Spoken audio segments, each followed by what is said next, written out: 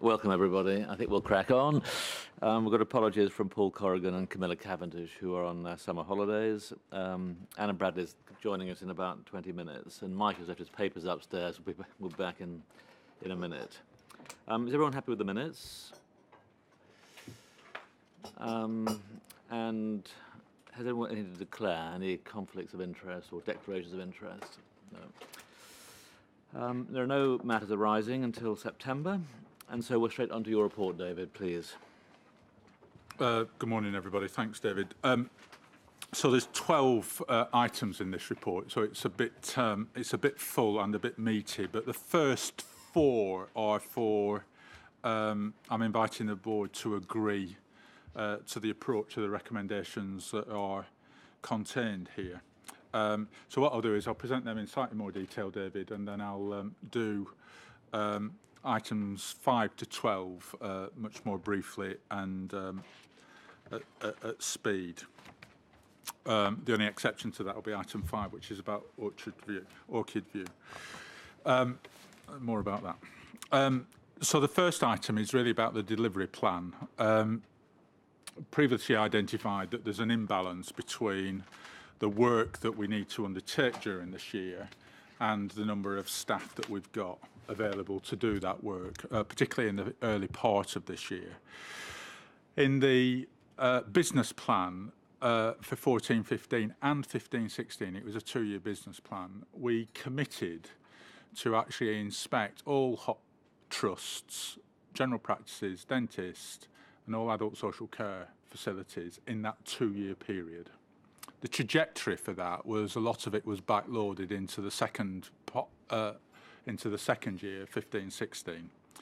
What has become clear uh, is that we have not been able to recruit the number of staff at the pace that we originally anticipated at the beginning of this financial year, and therefore the number of people we've got to complete the inspections during um, the early part of this year. Um, uh, we've got insufficient staff. Uh, we were right to hold the standard on recruitment and set the bar high. Um, we've been focusing on the uh, improving the quality of our inspections, and what this means is that we'll undertake fewer inspections this year compared to the same period last year, but they will be of a higher quality, they'll be more comprehensive, more thorough, and more in depth. Um, and as a consequence, we'll deliver more inspection days in the second half of this year than we did in the second half of last year. So we'll do fewer but better inspections during uh, the second half of the year. Um, and our focus will be on those uh, locations where we feel that there is some risk to the quality and safety of services in the way that we'll prioritise what it is that we will do.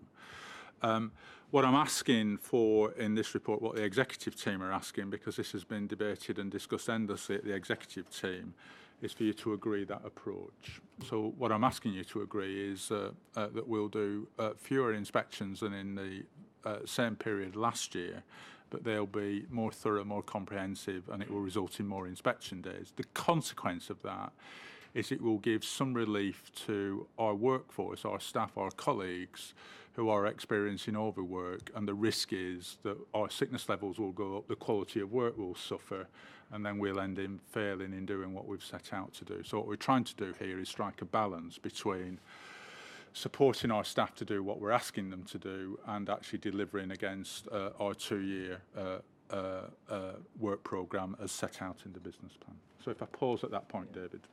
Before we just open it up, can I just have a comment from one of the chief inspectors, just just to give a bit more of a flavour about their own particular area before we have open it up a bit?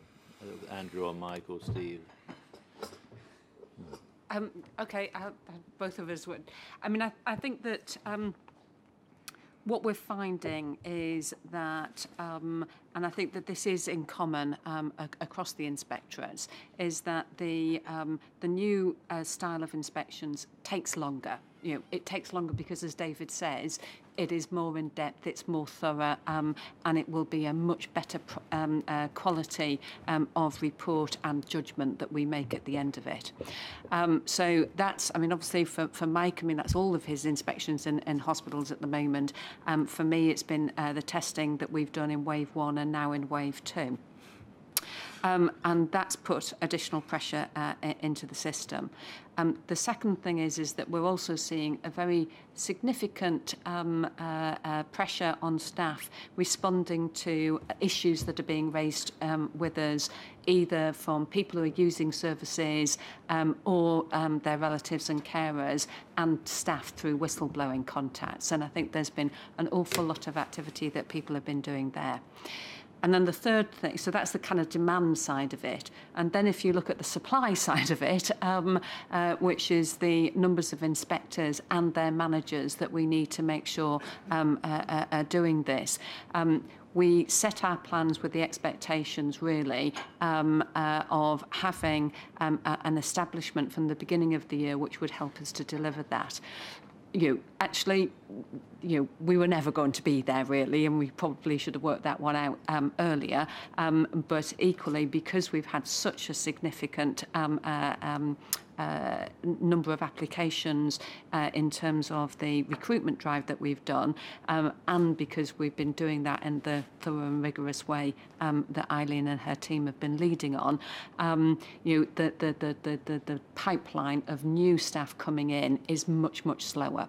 Um, so we're not actually going to see um, the, the levels of people needed to do that activity. And certainly what I'm getting back from um, inspectors in adult social care is that they are feeling very pressurised, um, that uh, they're working very long hours, um, and you know certainly we've had um, uh, uh, members of staff feeling quite stressed as a con- as a consequence of that. Um, so I think that you know given that we have a duty of care um, to our staff um, to make sure that they're um, capable of doing the job properly, um, uh, we need to make sure that we're balancing those two things up. So we have discussed it at length, and we've gone over these figures, and we've discussed that within each of our senior management teams as well. So I think that this is a considered position that we brought to the board today. Uh, Thanks, David. Um, So I I can see the, I mean, in in principle, I I think it's hard to disagree with with the general thrust of trying to make, um, put emphasis on our priorities. Can I just check that that uh, we've gone far enough in doing that? The, um, So just looking at the- your paper, David, it- it, um, uh, we- we're planning to inspect services that don't actually lead to ratings. So that so some some of the services in the dental sector, children's services. Now I can see why they, we might want to inspect them, but if they don't lead to ratings, is that our priority? Um, we've got 10,000 uh, social care inspections in the old approach, um, which I'm assuming are not ri- risk-based. I'm just trying to remember this right because not, they're not listed as risk, listed as risk-based in the table. So that means the the basis of selecting those 10,000 is routine, presumably. So is it necessary to have 10,000 inspections by a method which we are about to scrap? Um, and thirdly, uh, not to preempt a later item on the agenda, but we're going to hear a report about the hospital inspections which suggests that we've almost done them too comprehensively, that the teams are too big. Um, now, if that's true, um, maybe we should be pushing ahead with a decision to reduce the size of teams and therefore make more inspections uh, possible. So, general, uh, get my point. I'm, I'm in support of the general thrust of what you've said, and no, I don't think there's any criticism attached to anything you've said. Uh, but have we, are we, do we need to do some of the things that we're still committed to? Take your last point last, which Mike wants to respond to, I think, and take your first points first, which is David and Andrea. Um, uh, on, on, on the adult social care, um, there's uh, two really important things to say about why we're continuing to do the um, old style in, in, inspections. The first is that um, uh, we are prioritising those inspections on the basis of responding to risk. Um, so that's risk that's either identified through safeguarding or whistleblowing, um, and sometimes that's just bringing forward the date of the inspection as opposed to um, uh, uh, being completely de novo. Uh, so we're, we're, we're doing that to make sure, and those will not result in a rating because we're not kind of following the new methodology um, uh, in doing that. Um, and I think that that's important for us to continue to do um, while, um, while we're learning and developing um, the new approach. The second thing to say is that learning, and we're going to pick up on um, uh, the action uh, from Orchid View later, but one of the things that we learned um, from the um, uh, introduction of new methodologies and new ways of doing things in the kind of 2010-11 um, period of time was that we didn't do inspections um, to quite to the level um, uh, that um, uh, we might have expected, and the level of enforcement activity fell um, significantly at that time too. Um, and so there's, although I, I don't have the, the blessing that Mike has of the, the kind of risk data um, that enables us to be um, uh, very focused about where we should be going. What we do know is that um, the inspections that we carry out will uncover risk Um, and that if we don't do that, we are potentially leaving people vulnerable um, to, to that uh, that continued risk. So I think it's it's important for us to continue to be doing that so that um, uh, we're, we're not leaving services too long um, uh, until their next inspection. Um, but what I have done, Lewis, um, is written out to um, all um, staff uh, uh, and managers within adult social care to say your first priority is to respond to those issues that are being raised with us as concerns, and that's what we want to do. We'll do scheduled inspections if we can, uh, and we are continuing to do that. But their first priority is the uh, uh, uh is responding to risk check I understood what, what, what you said there, Andrea. Uh, in the, the 10,014 um, inspections that we're estimating for the rest of this year, in, in by the old style, are they all uh, locations where the, a, a risk has been raised? No, they're not all, um, but some of them will be. my point is, my point is um, if, we're, if we haven't got enough staff, maybe uh, of course, I agree that where risk has been raised with us, they become a priority for inspection. I, I'm just asking what, why we're doing so many by an old system. Sounds like quite a few of them haven't had a risk raised about them. And I, I know that some of them will have risks that we haven't uncovered yet. I understand all that. But it's a question of deciding what we do first and what we do in this year with a, with a, a, a staff pool that is not as big as we thought. And so the, the question is whether um, we could prioritise a bit more within that 10,000 so that is what we have done, um, and I've written out and been very clear in the kind of bullet point list of starting at the top. These are the priorities. Um, that's the expectation that, that the deputy chief inspectors and heads of inspection have with their inspection managers in terms of planning and scheduling the inspection activity that we're doing in adult social care. So um, I'm sorry I can't give you the precise numbers as to um, how the 10,000 breaks down into um, what's risk-based and what's not. And um, Paul um, is suggesting that he might be able to help me there. But uh, we um, we have been very clear with staff that um, that the sort of you know um, scheduled inspections, standard inspections, um, we we do if we can. And the the other issue to be clear about as well is that this is not. Um, it's not kind of uniform across the country. Um, so um, we have particular pressures, for example, in our central region where we've got a much higher level of vacancies um, and we've got more staff available in other parts of the country. it's not quite so easy to transfer them all around and, uh, uh, and have them moving for all of the reasons which I'm sure you can understand. So there's some parts of the country where it's perf we're, where perfectly okay to be continuing to do scheduled inspections. So it's balancing all of those things up. Um, on the numbers, on the 10,000, um, that's totals over the year, and the vast majority of them have already happened. So this is the 10,000 is um, planned for quarter one and quarter two. So uh, 5,000 certainly happened in quarter one, and we continue that progress through uh, the quarter that we're currently in. So it's not a question of having 10,000 in the future.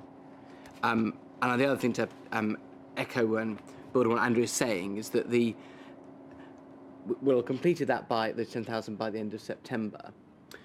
If we there's going to of what, what else could our, those inspectors be doing if they're not yet trained in the new approach then it's not a question that we could just transfer them in August or in September into doing new approach inspections because our first principle is that each of our new approach inspections has to be carried out led by people who are trained, which is what we're currently going through. Could you just address a second point that that um, Lewis raised? From hospitals. I mean, like Andrea, we've got a much clearer idea now of the demand side um, than we did at the beginning. It has taken time to recruit. We had also to see how many staff wanted to go into which directorate, and fortunately, we were in the position of being able to accommodate everybody into their, their first choice of, of directorate. That did mean that in certain parts of the country, for example, in mental health, um, we uh, were very short. We are now um, going absolutely full tilt at recruitment and training, um, and so I think this will get better. The other additional thing that we are doing now um, is actually to invite people to come on secondment and, and uh, to, to, CQC from the NHS. And we've just written out to um, trusts saying, find us your best staff at, at, at a sort of middle grade, um, come to work for CQC for a, a couple of years. Um, we will train you in our methodologies, but then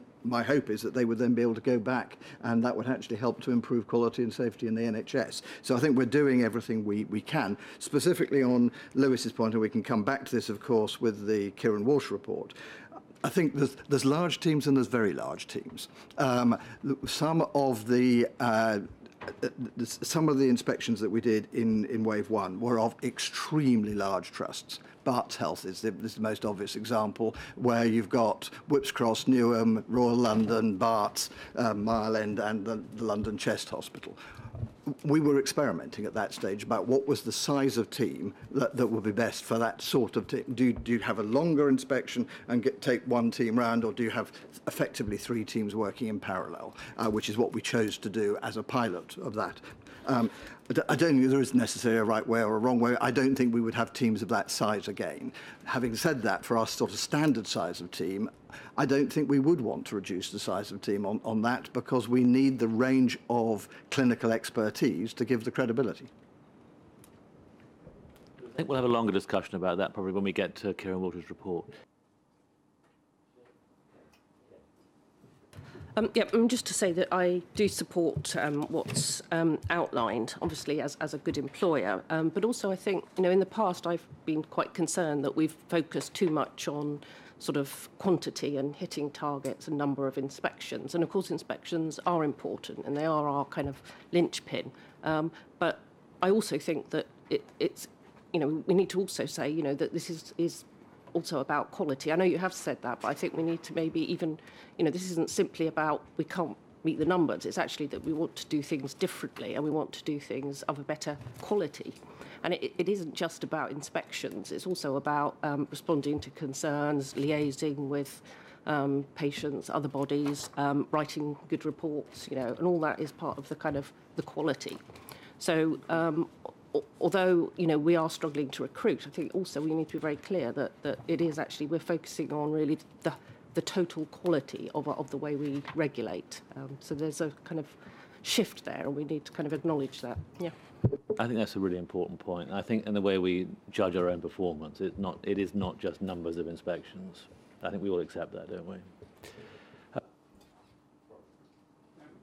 Well, clearly, I, I absolutely agree that um, if we're going to inspect, we should do so to the quality, a quality which addresses the risks and uh, increases the prospect of patients being looked after safely. Um, can I just ask, ask this, that if the original intention was to inspect everyone, as it were, within a, a period, we're now not going to, to do that, do we now have a plan as to when everyone will have been inspected by? Um, and, the reason I ask that is, is this, that um, I'm conscious of the fact that Mid Staffordshire arose partly because no one thought it was a risk, wrong, wrongly.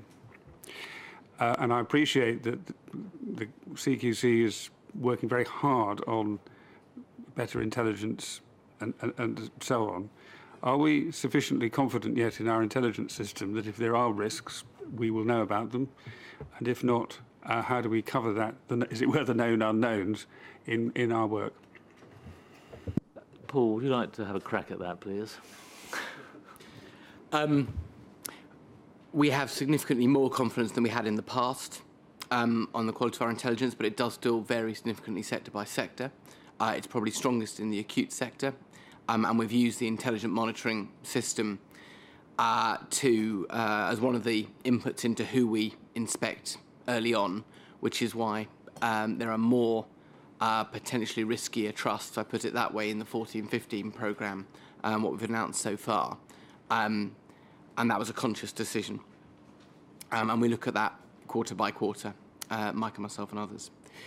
Um, but what I don't think David said at all was that we were planning to uh, push out the back end of the programme um, because there's so much between now and either December 2015 for the acute sector or March 2016 for adult social care and primary medical services that we still need to settle. We need to look at what our recruitment profile is going to be. We need to look at what the efficiencies in the model can be.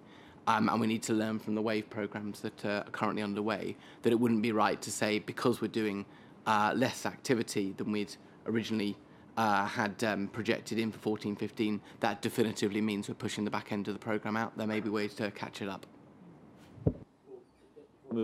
Just on the, the, the real substance of Robert's question, though, is how good how good is our intelligence at picking up? I think particularly in hospitals, but I think across the piece. I think we need we must come back to that. I think we will discuss it a bit in the performance report later on today, but I think it's such a such a crucial area that maybe we can come back and spend some more time on that in you know September or October. Uh, yes, so we've got um, we've got a paper later on, um, and we'll have an update paper evaluating the first year of the uh, on the new acute model for October. So we okay. do, do both those things. Yeah, okay. Thanks. Jennifer. It's just an obvious point that um, it could be that the recruitment is not necessarily a temporary problem. It could be that it's just um, that the level of uh, staff we need is just not tenable, not sustainable, uh, not possible, or indeed desirable. Um, ultimately, uh, after the first, you know, wave of inspections, new style. So we'll have to obviously, um, Paul point, you know, revise, I guess, keep under revision the depth, breadth, frequency, risk-based nature of the analysis, and that relates to fees too, doesn't it? Um, that's an implication. So uh, I think just to keep returning to this is the obvious point. Well, can I just connect um, Robert and Jennifer's point? Um, so in a sense, Paul's answer on the intelligent monitoring stands in terms of the point you were raising, Robert, about the degree of confidence. But what this uh, proposal uh, that we're discussing is asking you to do is note the position for this current year. Uh, our objective was by March 16 to have inspected and rated everything. We're not making any proposal in relation to whether that should be altered at all. But to come to your point, Jennifer, on recruitment, uh, uh, if my colleagues could help me on this, I think uh, Andrea's running at about 600 people when uh, ideally for this year we would have been running at 653, I think, off the top of my head. And even within that 600, there's a number of people that are seconded out doing other jobs. Um, I think Mike's um, about 250 down of which the biggest proportion is in mental health, which is why that targeted campaign for secondments in mental health is there. So your point is that we've set a bar for the standard we want for people to come into the organisation. I think we need to hold that standard. Uh, but the consequence is the flow of people in uh, might be not as uh, strong as we originally anticipated. So I think the work that we need to do, and I've asked, we get already a weekly report on the numbers of people coming through. I did the corporate induction this morning. There were three, ins- uh, early this week, there were three inspectors. I did one two weeks ago. There were seven inspectors. So people have started to come through the uh, recruitment campaign and the corporate induction.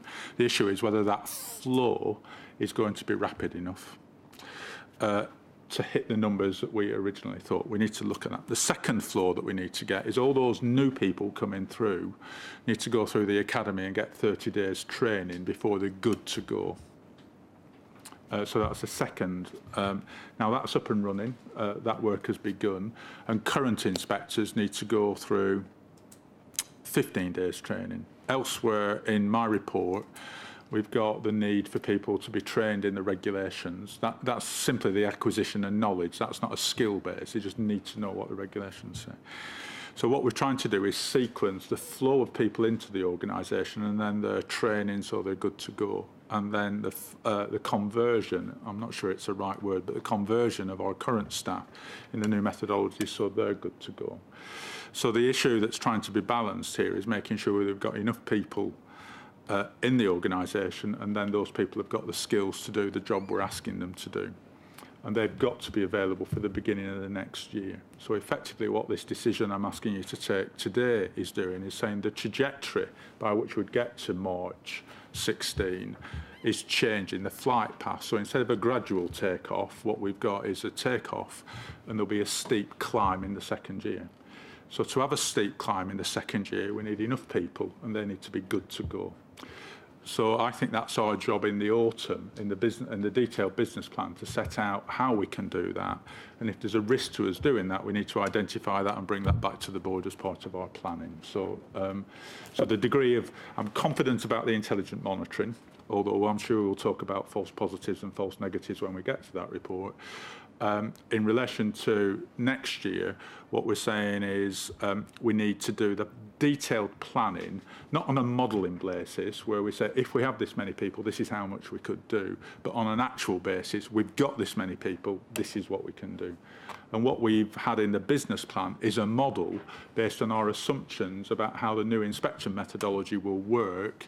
And already, I think that's been challenged by the number of repeat inspections we've got and they really are picking up to uh, concerns that have been reported through, which have meant we've gone back to more places than we originally anticipated in the first model.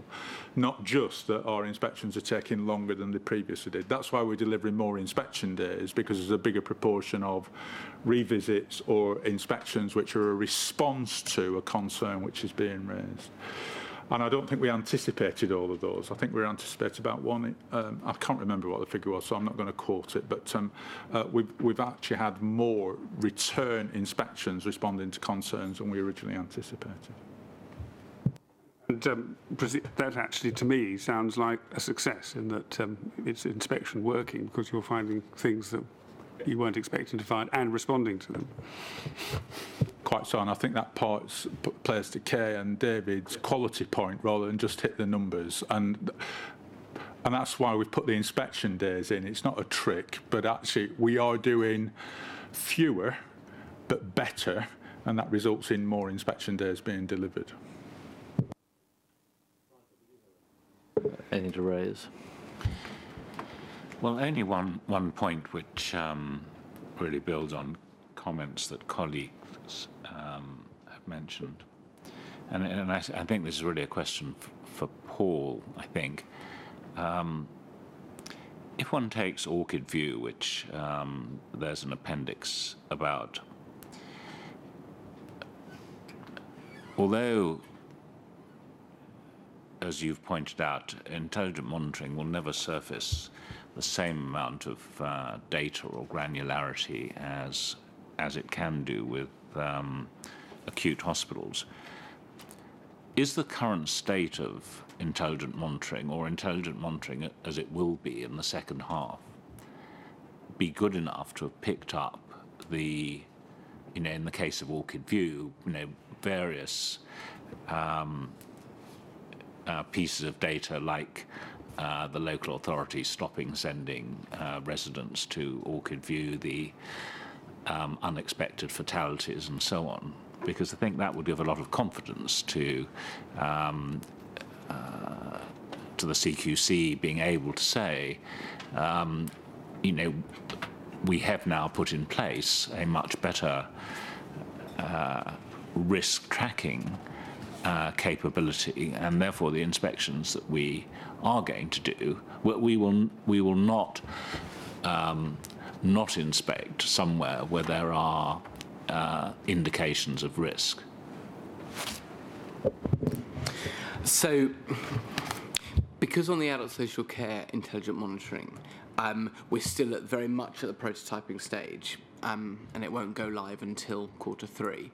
Um, it is too early to say definitively we would pick up an Orchid View or um, other sort of similar case. What we're doing as part of the testing, though, is to look at the, the, various metrics that we're using and then run run them back and say exactly that question: Would this have picked it up? Within that, then there's a, would it have been picked up effectively on the hard data alone?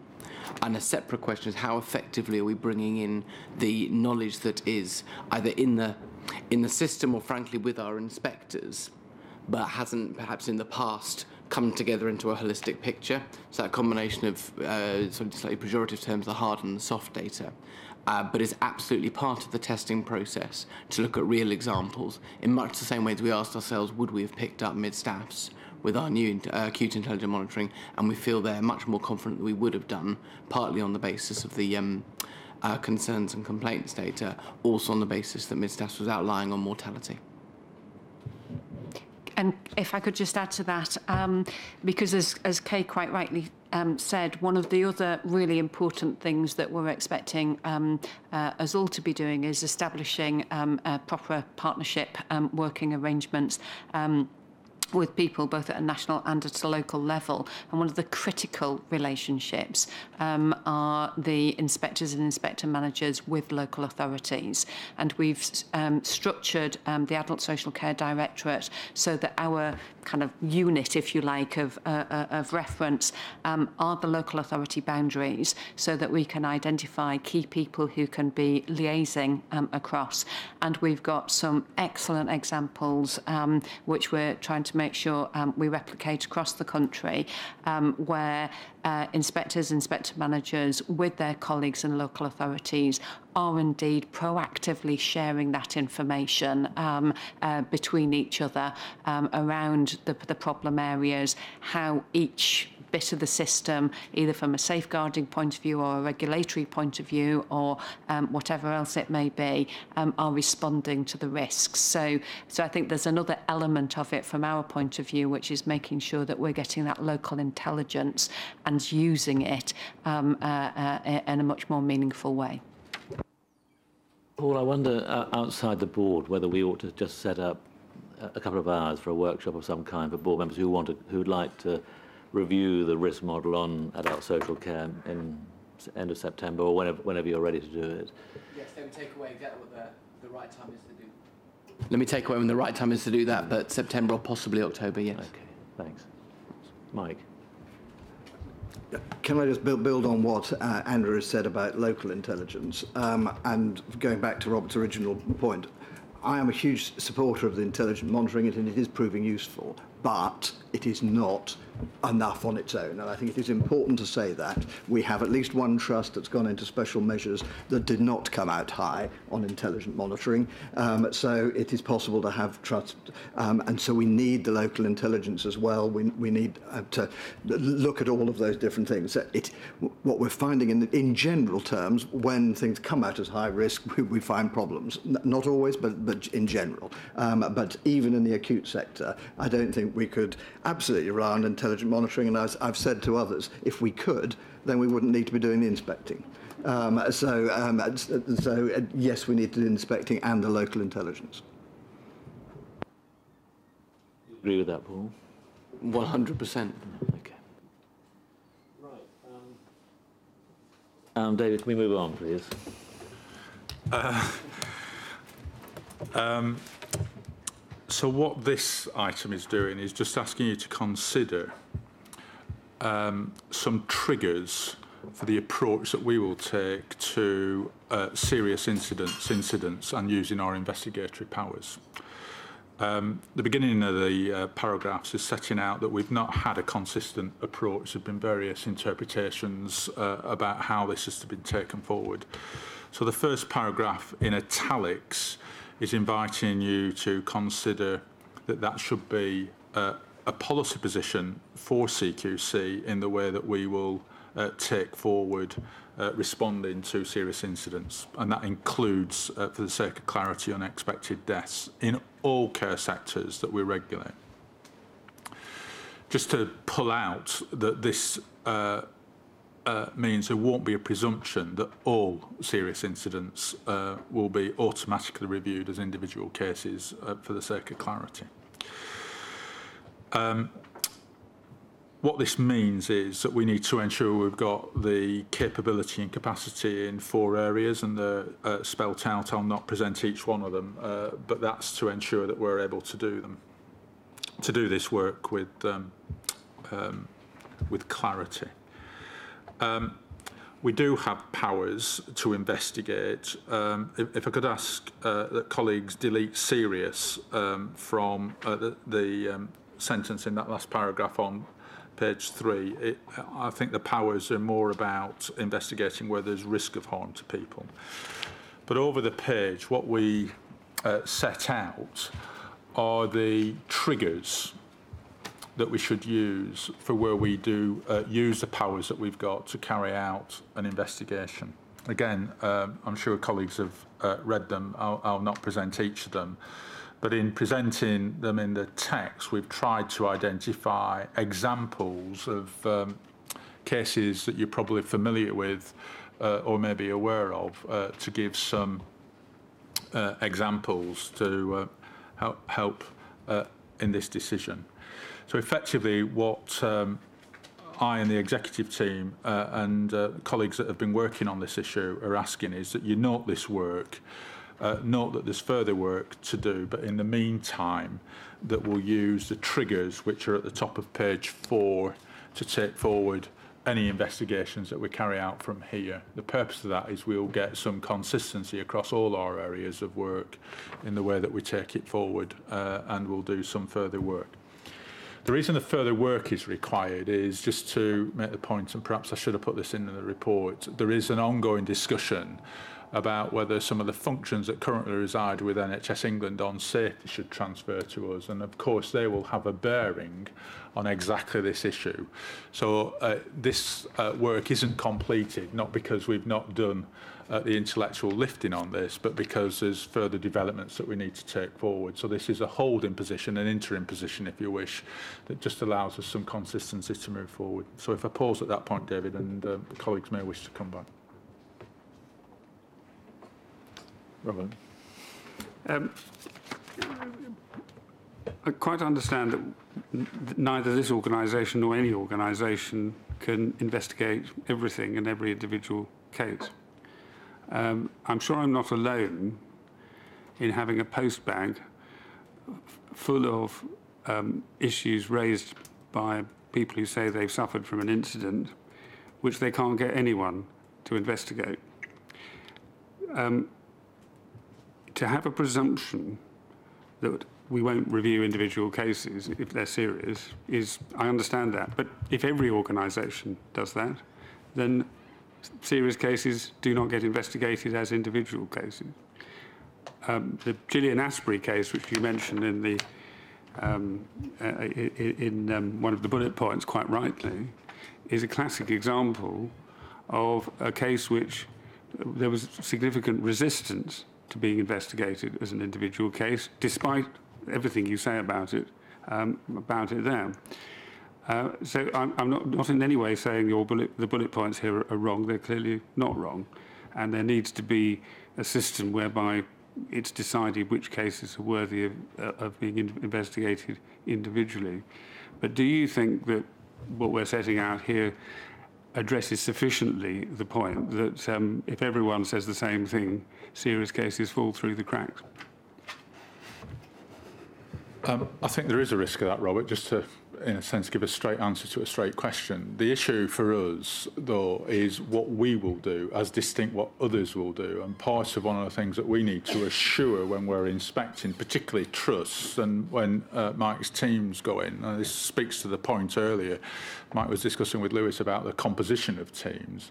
If we think there are concerns about the way incidents are investigated in a trust, then we need to make sure that the team going in to do the inspection is able to actually explore that issue on site. And um, you will know better than any of us just how variable it is, how uh, investigations take place. And certainly, um, pulse bag that I think Mike gets, I will get, uh, certainly David will get, will be, there will also be cases where people feel that they've not got um, uh, anybody to listen to them, let alone investigate their complaints in any kind of detail. So I think there's a difference here. Uh, there's two things we need to do. Firstly, we need to make sure that those organisations which have a responsibility for carrying out investigations in the first place and then communicating with the people that have suffered as a result of the issue that's being investigated, uh, those people carry out those investigations. I don't mean coroners' courts, I mean the trusts themselves. And then the second thing um, I think this report is saying is that where things do come to us, there will be some circumstances where we actually do need to look at individual cases. Indeed, I've got an individual case at the minute which um, we're working with um, NHS England to carry out an investigation. This is a very old case of a family whose child died. They've not had resolution. They feel nobody's listened to them, including CQC. And uh, we're taking uh, some action to work with NHS England where they can use their powers to carry out a much more historic investigation to see if we can actually get some resolution to those individuals. I think that's a very exceptional case, and I'm sure you'll get more exceptional cases. Um, so I think what we're trying to do here is strike a balance. In truth, uh, uh, and maybe some of my language in this report has been too cautious. I think there's been a presumption that all deaths of people with mental health problems will be investigated, and this is the ambigu- this is the ambiguity point. And what we're trying to do here is just be absolutely clear about the approach we're going to take on that. Um, part of the discussions with NHS England is uh, of the transfers that come, are some of the transfers about what they would otherwise investigate, or do they keep those investigations? And this is still fluid at the minute. That's still the subject of the discussion that we need to land. Uh, those conversations will take place over the summer and into the early autumn. Uh, and I hope that we can get some clarity in relation to this. So as I say, this is a holding position pending those uh, larger discussions. It's not a perfect position, and I think you're right to identify that there is a risk that some people may still continue to be angry, frustrated, uh, unhappy that um, people aren't listening to them. Anna, yes. Thanks very much. Apologies for being late. Um, uh, uh, just, just, I mean, I, I absolutely recognise the, the, the kind of half, halfway house that you're describing. We're on a, on a, on a journey in relation to these powers, but um, I think the assumption behind your proposition here is that we need a level playing field where we apply the same criteria across all sectors. And I think what I want to say is that um, I'm not sure that that's appropriate even in this holding position, because the situation in all the sectors is not the same. So uh, the legal requirements and uh, uh, uh, powers that others have to, to, to do investigations in different areas are, are, are um, I understand, quite different. Now, I'm not an expert on, on, on, on, on, on all the sectors, quite clearly. That's not my, my bailiwick. But one of the things that has come uh, uh, to our attention at Healthwatch England, particularly, is is exactly this question of deaths in uh, uh, of people with mental health issues in, in, in, in secure institutions, and the, the the the legislation around the requirement for investigations of, in that area is quite different to the legislation that applies um, in in in other sectors. So and it's lesser in terms of the uh, um, uh, independence of investigation. So, so it seems to me that this is not a level playing field, and and in a way, to to speak to um, uh, uh, uh, Robert's point too. I mean, I, I think there's there's something in your criteria which needs to reflect the fact that the context in the sectors will be different and that the powers that other players have in each of the sectors probably also different and that needs to be taken account in the de- in the decision so crazy for us to do something if other people have lots of power to do it but actually in some spaces really important that we do more not level playing field therefore Thanks, Anna. I, I didn't like the policy position statement, I have to admit. I, I read it, and I don't think it's very clear. And it's not quite a non sequitur in the middle of it, but it's when I read it, I thought it was. Um, because the, word, the, the words this means that, I mean, it doesn't, the first bit doesn't mean that. It might, that might be a part of what it means, but I just felt that when I read it, I didn't really understand it, I think. And, and maybe that just is a reflection on me rather than the person, rather, rather than the policy. But I just felt it was not sufficiently clear. I don't know about other, maybe it, it, I don't, other people felt that as well or not. Michael? Uh, I actually thought the um, uh, there wasn't a non sequitur. I, th- I thought that was clear, actually what, what, what I felt less, less certain about in the book was the last bullet point, which, in order to understand whether an incident is egregious, demonstrates serious failings, um,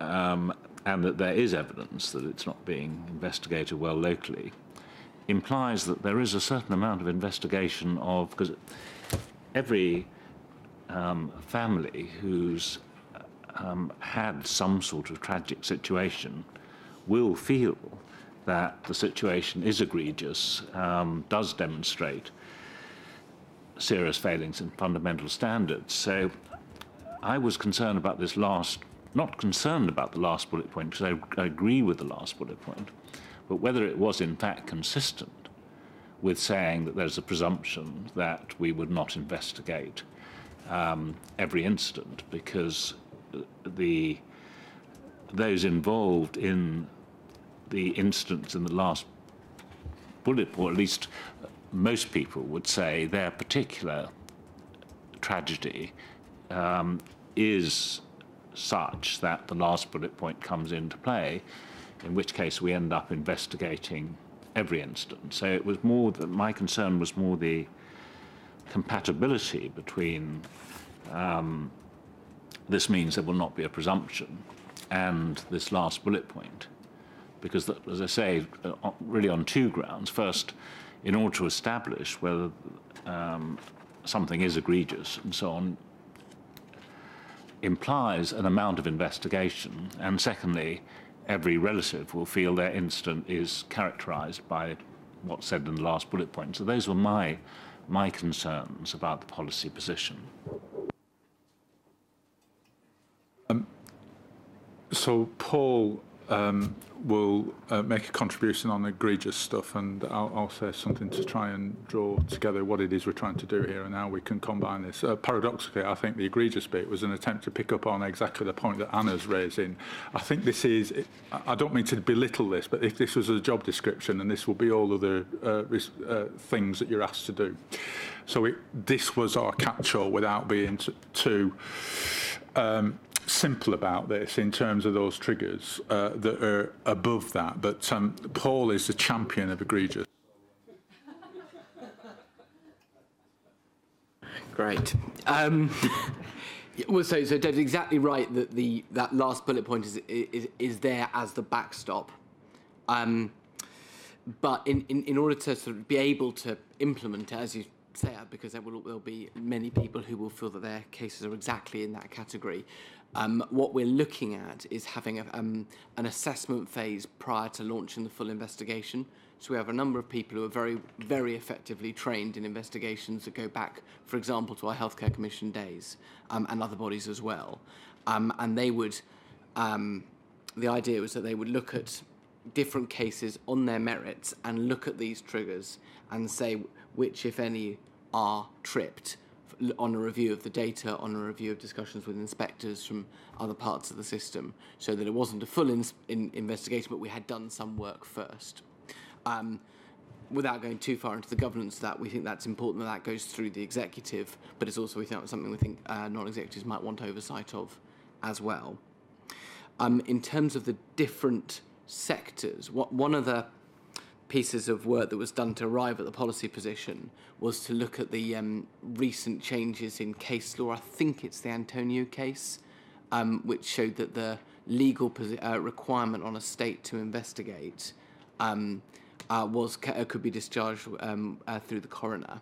So, in some way, some of the issues that had grown up around this whole question of should we always investigate, particularly deaths in detention, um, under the Mental Health Act, uh, the, the law has appears to have changed, or the case law has changed, which can Im- impact our decision.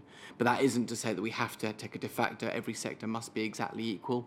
Th- we think there's enough nuance in the triggers to allow that um, that differentiation. But if we don't don't think so, we can we can definitely revisit that. On the um, on the specific of the wording and the potential non sequitur, I think there is whether it's clear or not. I don't think it adds anything to say this means that. Stop. So I think we could just take that out. But let's go back as well and say even with that, whether the form of words quite settles it. But the final point I was going to say was to David's holding position and the transfer of some of the functions from, for example, NHS England. One of the things they have been looking at is setting up an investigations branch.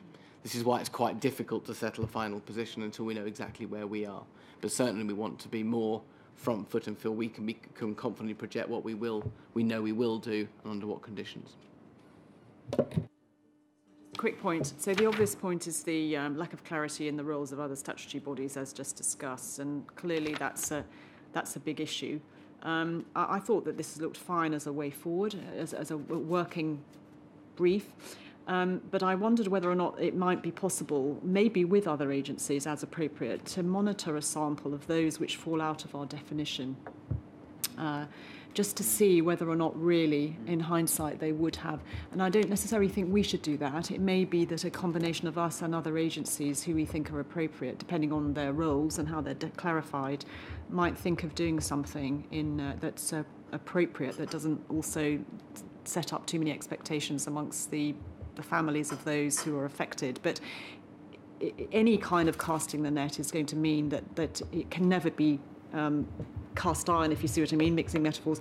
There's always going to be something. So I think if we could monitor some of the sample, I think that might help us to move forward with uh, and the other agencies. Well, first of all, just to pick up the mental health act po- uh, point, the, the issue in mental health is that there are about 300 people die every year while detained under the Mental Health Act. Uh, so they, so this is people who are detained for their health care, uh, detained by effectively by the state, um, and who then die. So, so you could argue that there is a very special category of incident which we should take particular responsibility for, or at least for, at least ensure that somebody has uh, investigated.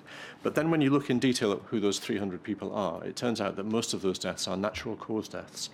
Uh, now, that's not to diminish the importance of, or suggest that they may not have been failings in care where, when somebody dies of natural causes, but they are often older people dying of natural causes in settings where, for to, to an extent, technical reasons, they are also detained under the Mental Health Act.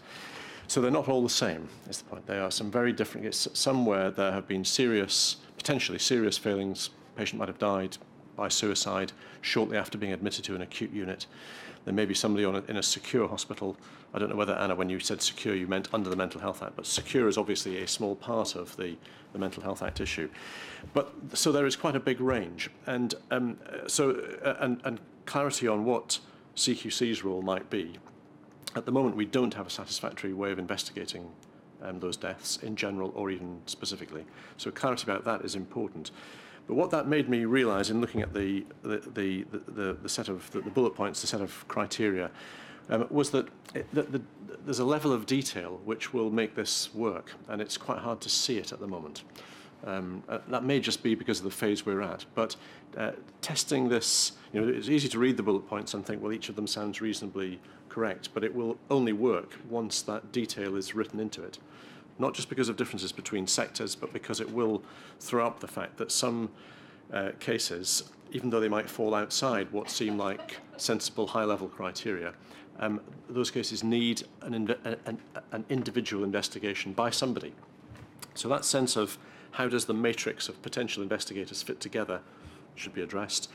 That level of specificity about the range of incidents that might happen, I would suggest, needs to be addressed. And even where there is a setting where you would think there's an obvious case for investigation, like deaths under the Mental Health Act, there are differences which have to be reflected in how the document is put out. And so I don't want to be too critical because I understand you've got to a particular point and there needs to be further work and further work with others. But it's that level of detail which will make this work, and I'm not sure we've got the clarity of that just yet, maybe, maybe for understandable reasons.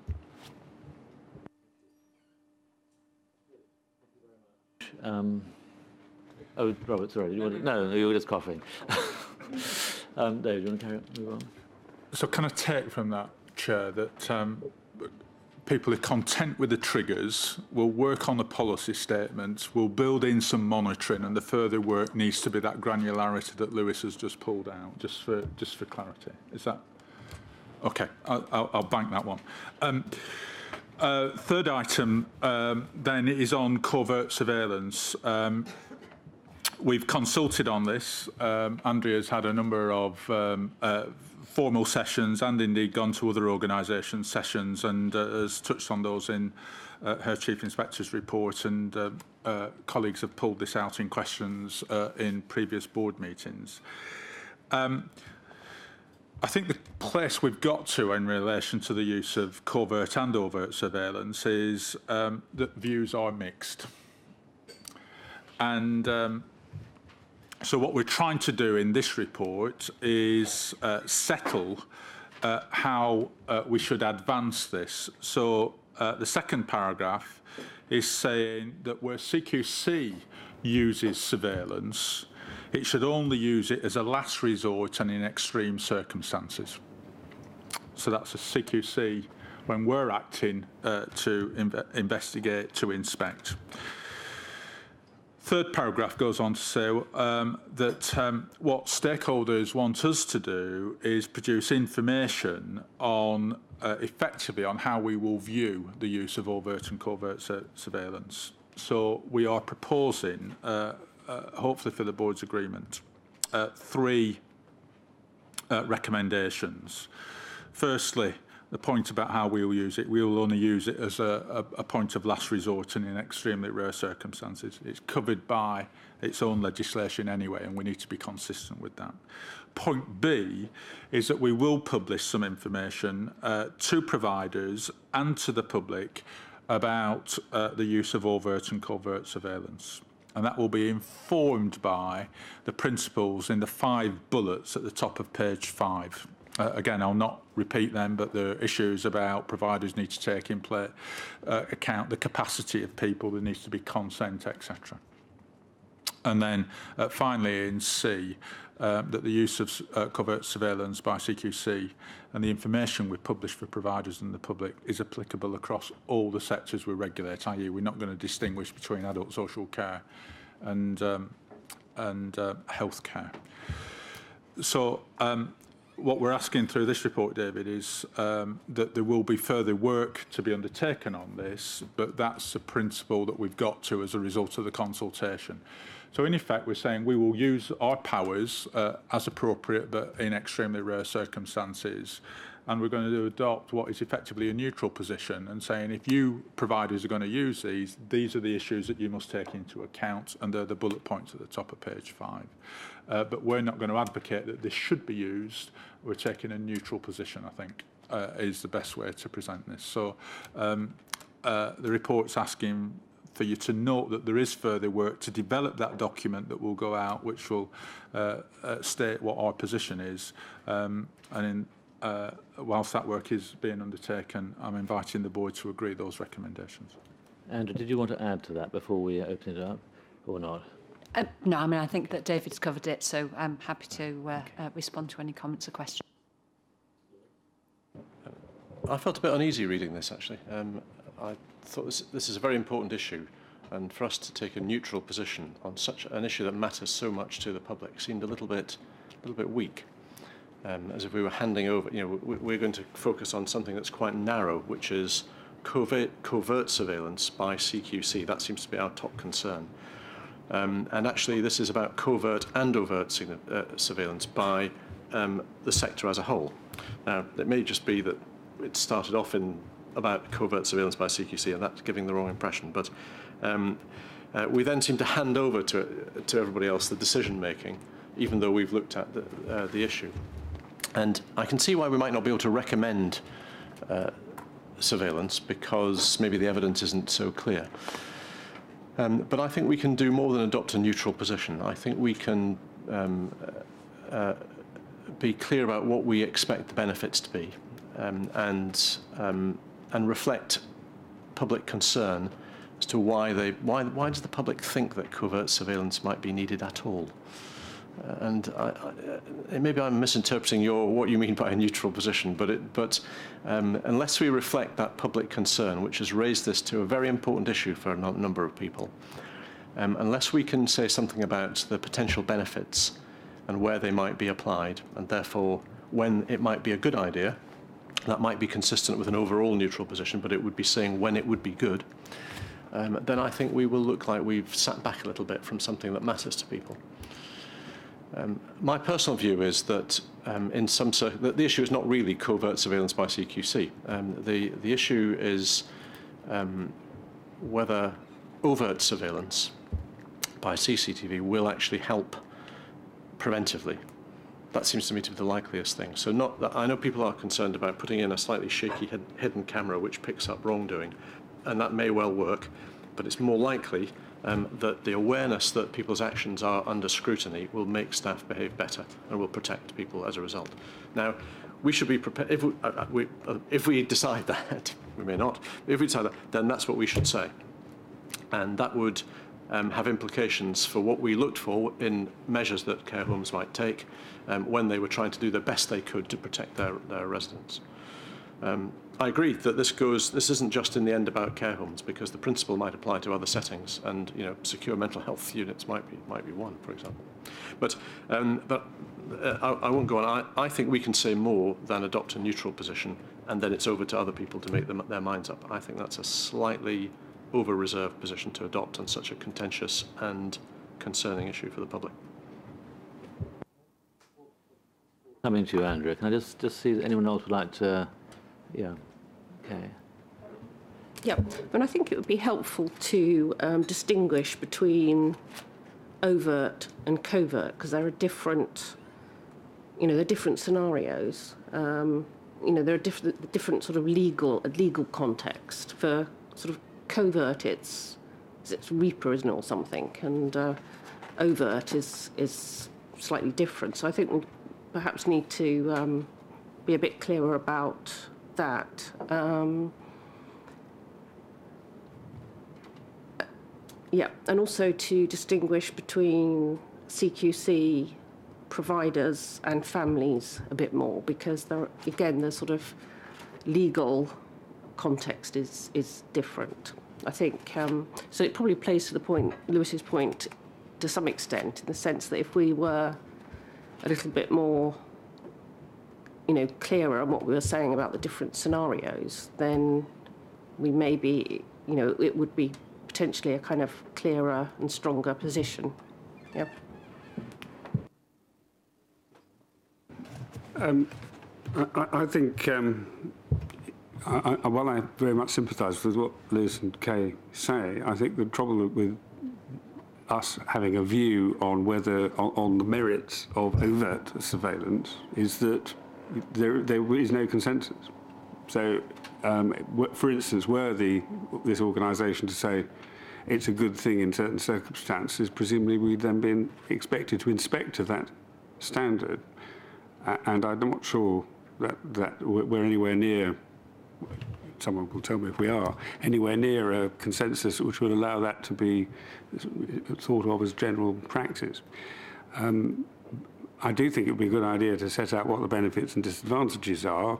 For instance, um, overt or covert surveillance is an invasion of the privacy of the, uh, of the residents, the service users, the staff, the visitors, and everyone else. And therefore, to do that, even if it's overt, needs to have a reason. You can't just do it. Covert surveillance, of course, you multiply the, those, that balancing problem even, even more which, so I, am not sure I do agree that uh, you, we, we, can do anything other than a neutral position, but we need to help people make decisions about it. Um, the second point is about our own use of surveillance. Um, and while I think it's perfectly acceptable to say we would only use it in extreme circum- or, or rare circumstances. I think it's better than extreme. Um, any suspicion of abuse, which can only be uncovered by by the use, or it's thought could only be uncovered by the use of covert surveillance, is, I would have thought, an extreme circumstance. Um, uh, but if we are to use it at all, and I, I imagine there will be circumstances where we would want to, um, then it seems to me we should firstly have a system of governance around how we use it. We should know what that is at the board. And secondly, we should um, be transparent as we can about the frequency with which we use it. In other words, that um, we need to put in our annual report or, or wherever something about the use of covert surveillance. Um, I completely agree with Robert, actually. Um, and the only thing I would add, I, I'm happy with this neutral position, provided that you know the points he made are furthered. And um, the only other thing I would add is that I think we should probably say how we intend going forward to learn from our own and others' use of this, so that we can have a more fully informed position in, in the years to come. Um, just coming back on what Robert said, um, all the policies and internal processes would be overseen by the Surveillance Commissioner and um, would be published and transparent in terms of numbers um, through that process.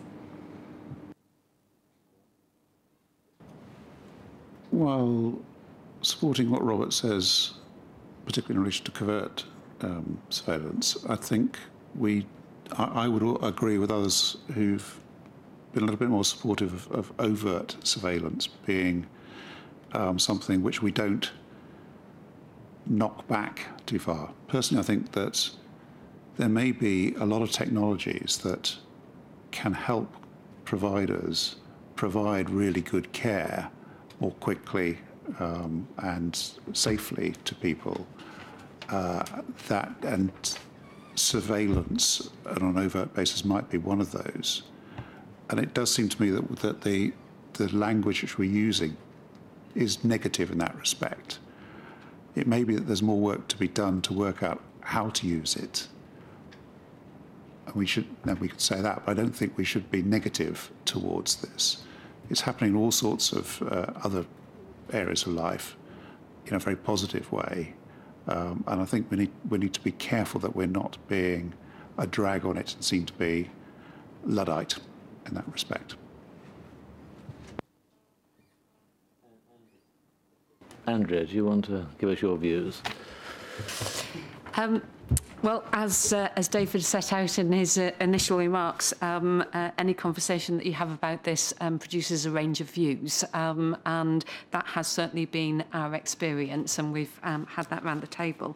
Um, so, just to address the points that people have raised, um, I think that. Um, what you've got here is a very summarised position um, in terms of what we want to do. Um, and the reason why we're bringing it to the board today is to ensure that um, the detailed work that needs to be done to actually answer some of the kind of uh, more specific points that people have raised, we're kind of doing that within um, uh, a direction of travel that the board is, is content with.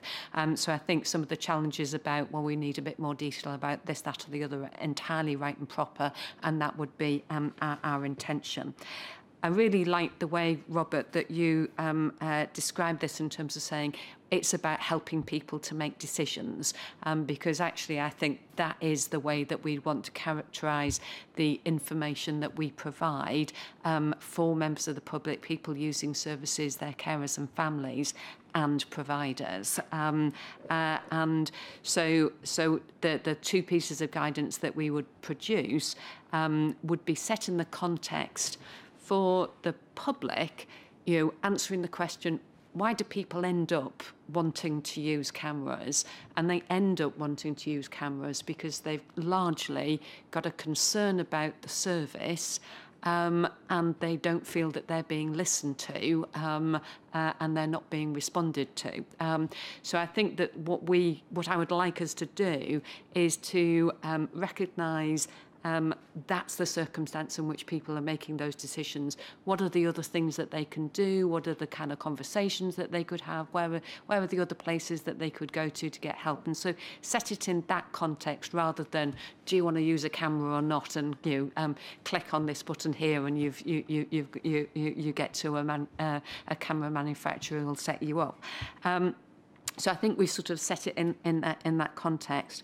In terms of pro providers, again, I think it is about helping people to make decisions Um, I can see there are there are some benefits um, uh, uh, that, that that people can ascribe to the use uh, uh, of cameras, but I do not see it as a fail-safe um, for guaranteeing good care, um, and I certainly don't see it as a replacement for some of the other things that people should be doing um, to ensure that um, high-quality, safe, and effective and compassionate care is being provided, like having enough staff um, getting the right staff in, training them properly, and supporting them to do the job well. Um, so I think that you know, again, we have to be kind of balanced really, and and what we want to be doing is being absolutely clear about the um, issues that we'd be expecting providers to take into account, and which comes to the points that you were raising, Robert, and others um, uh, alluded to around um, people's envision of, uh, of privacy, um, dignity, and respect. So you know there there are there are judgments to be made around this in terms of wanting um, to uh, improve the provision of care and wanting to make sure um, uh, that people are doing that in an appropriate way. Um, so I think that what we will come out with in terms of the detail um, would help to address some of the points that, that people have raised. I completely take your point, Jennifer, about um, the evidence base um, uh, in terms of we could contribute to that as we go forward um, because the evidence base isn't fantastically strong in terms of saying, you know, you put a camera in and you get these, you, you absolutely get these um, outcomes, or if you don't have them, you, you uh, uh, uh, uh what that, that is. Um, so I think that we should be thinking about how we will learn from others and how we will learn, for example, example from the experience that um, one of our larger providers, HC-One, is going through at the moment. They are consulting on the use of cameras, consulting with uh, resident staff um, uh, uh, as well as relatives, um, and uh, and they've not come to a conclusion of that yet. But you know, it'd be very interesting to see what's coming out of that and, and what's happening in other areas. Um, so I think you know, this is something that, you know, this conversation will really help us in terms of informing the detail of what we now do um, and, and bring back. And I think um, Kay's point about thinking about the different scenarios is how uh, I mean, I think that's probably a really good idea in terms of, of as having maybe little case studies in the um, uh, in, in the advice that we provide that gives people some sort of um, uh, t- uh, frame of reference for making those decisions. So, um, thank you very much for your help. Yes, sorry, just one one point perhaps for Andrea. If one takes the I don't know if this is the most recent, but I mean the, the case that was brought to our attention, the old deanery, the, the Panorama program. I suppose the issue that troubles me about that is that if the family had come to us before installing the camera and said, you know, we are very concerned that our relative is being abused by um, care staff. You know, we would then have inspected that home.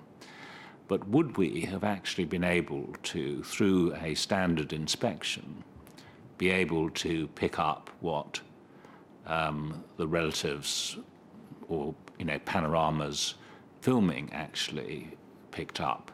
So I think there's there's seems to me there's an issue here about whether surveillance, covert surveillance, um, or overt surveillance can just simply capture events that our inspections, you know, by their nature, just just can't. Um, so whether there is a more positive, um, and I think this gets to to Paul's point, a more positive slant on surveillance is something that sort of troubles me. Um, it, really is Andrea's confidence, in a way, about whether the new style inspections could capture what, know, if one takes these particular instance, um, what surveillance has captured. I think I would have more confidence, Michael, but I don't think we can ever say that we would have complete confidence um, um, that we'd pick up absolutely everything, um, and for all sorts of different reasons, which, um, um, as you know, I can wax lyrical for, for hours. So, um, so I won't I won't do that um, for the board today. But um, but I think that our new style inspections, because we're looking very deliberately at the culture of the organisation when we're trying to answer the question, is, is the service well led? Um, will encourage us to get underneath the skin of the service um, and to be much more mindful of some of the um, some of the signs and symptoms, if you like, that would indicate that there's a culture that may um, uh, allow those sorts of things to happen in the main behind closed doors. Um, although, as the um, uh, as the old deanery filming showed, there was there were there clearly was a culture between some of the staff, which was um, very dismissive of the residents, and um, uh, and so it's possible that that sort of um, uh, that sort of uh, interaction we we might still pick up, and there are some inspection reports that I read and I kind of wonder how on earth people thought that was the right and proper way to behave, and they knew that there was an inspector in the room. Um, so, so that there are, you know, you know people can't um, necessarily keep up um, a front um, for for all of the time. But I think that's one of the reasons why we we don't want to come out and say we don't want to use these at all. You know, it's it's a, a dreadful thing to do, and we should be stopping it. I mean, I have had some people say to me that is what we should say um, because it feels very Big Brotherish, um, and a lack of trust um, uh, is is implicated by by making that decision. Um, so we're not saying that, um, which actually I think is a is is kind of you know progressing us along a positive a positive path because we have been invited to say that um, uh, by some of the commentators um, that we've had. Um, but I think that we we need to be making sure that we we have at our disposal all the tools that we we might need to make use of to actually get to the bottom of any particular issue. Uh, I'm just going to move to Paul and Lewis. Can I just just chip in myself just for a minute. It's just the words as a last resort in extremely. I mean, the CQC only use coverts as, as a last resort in extremely rare circumstances. I mean, I just wonder whether the words last resort in extremely just make it do you think mean, we're, we're over egging the point there, David? I, you know, I think. I mean, what do we? I mean, I think in a last resort, does someone have to be absolutely being pummeled to death before we do it? You know, I mean, I think it's a question of I'm not sure we're giving ourselves enough latitude. We'll that, I think does that go to your point of it, Michael? Doesn't it really that it's not in those tiny. There may be a, a broader number of cases than than will be caught in that wording. Just on that point, David, could I, could I suggest, I, I don't think we should define the use by how often we expect it to be used. We should be talking about the circumstances in which it we, we don't know how often it might be necessary to use it, but the, it's the circumstances that need to be defined and then that will tell us in the end how often. Um, uh, if, I just follow up your point, the, the, the, um, the, the neutral territory on this sounds like it is very broad because the position we're adopting here is a very conservative neutral position. Um, and it's language like that which is, is revealing that. The, you, know, you wouldn't assume from terms like last resort and extreme rare we, that, that we're actually saying that there may be some benefits. That, and, and that's, I know you're talking about the covert surveillance by CQC, but we are taking a very conservative position on something. Um, I mean, the arguments about CCTV, it's something about CCTV that makes people nervous because the, exactly the same things have been said about town centres um, as well. Um, and, and now nobody presents those arguments. The, yes, there's no evidence, um, or no convincing evidence, um, but that's often the case, and that's where we need judgment. Um, and yes, there's no con consensus. I, I wasn't 100% sure whose consensus we were talking about. The, the public. Is, do we have to do what the our consultation says. I mean, we, we, I think we're allowed to make a judgment about, about this and its potential benefits. And I worry that our conservative neutral position is too conservative. For example, if you take the phrase, um, for the public, the decision to install hidden cameras is for them and the families to make. That seems to me like pushing it away um, and saying we're not going to get involved. That's their decision. And actually, we should be understanding why they might feel so desperate as to want to make that decision. Um, and we should be prepared to help them. Um, and whether that means help them by giving them the camera or telling them how to do it um, becomes immaterial. We should help them. And if in the end the help leads to covert surveillance, then we're supporting covert surveillance in some circumstances. So um, by all means, let's not come out in favour of it everywhere and covertly and overtly, because these are different issues and it's a complex issue. But let's not adopt what we call a neutral position, which is actually a reserved and essentially negative position. Um, so I disagree. I don't think it's um, uh, conservative. I think that the reason why we've arrived at this, um, which is part, partly as a result of the, the co-production work, um, but also as a result of the, sort of the policy thinking and quite a lot of the uh, exchanges and discussion um, within the building, um, is because of the difference in circumstances across the hundreds of thousands of people in residential care and in home care. There's simply there's too many different variables at play, and there's too many personal views, and most of all, the individual resident, if they have capacity, or the individual uh, person being cared for, if they have capacity, their view. But what we're absolutely not saying is that we wash our hands of it in any way at all. We're saying that we will provide guidance. Uh, there are some things that break the law, for example, there are many things that don't. Um, but there are very simple things, like it, uh, when we talk about people putting in hidden cameras uh, a Panorama, of course, that was hidden cameras in people's rooms, but one can imagine a uh, situation which people might not realise they're putting hidden cameras in more shared areas um, for the good of their, or perceived good of their um, individual family member. Of course, that would completely compromise other people's human rights. So we will provide guidance on the appropriate use um, for providers and for uh, members of the public to, to inform their decision. Um, and the second reason I don't think it's passive at all is that we're making a, a statement we haven't previously made about clarity that we will act on the evidence. We encourage people, if they choose, um, whether that's providers or members of the public, uh, to bring that evidence to us so that we can act on it, so that we can use. Possibly take a different view from that. That we, the alternative to that is not acting on the evidence. That's not a very positive view. Historically, Louis, CQC has said we will not use the evidence from video recording in any of our enforcement activity. Now, whether that was a good thing, it, should, it shouldn't happen. What we're trying to do we in this... It, no longer adopt what is a fairly... Anyway, I don't. I don't. I, th I think. I, I don't think we should say that's too positive. You know, that sounds to me like an unacceptable position that we wouldn't take evidence when it's presented to us. Um, that that's such a, a publicly indefensible position that getting rid of it is a good thing, but it's not particularly positive, I don't think. Well, so I think this is a really helpful debate and just proves my, no, seriously, it just proves my opening point about it is impossible to get a position on this. And I think we've just demonstrated that for the last half an hour. So I think what we need to do, David, is take it away. Uh, I think we need to embrace the comments that have been made. I bitterly regret using the phrase neutral in my introduction. what we were trying to do is pick your way through an argument. Can I just do two things before I uh, try and sum up from the executive team side on this, David?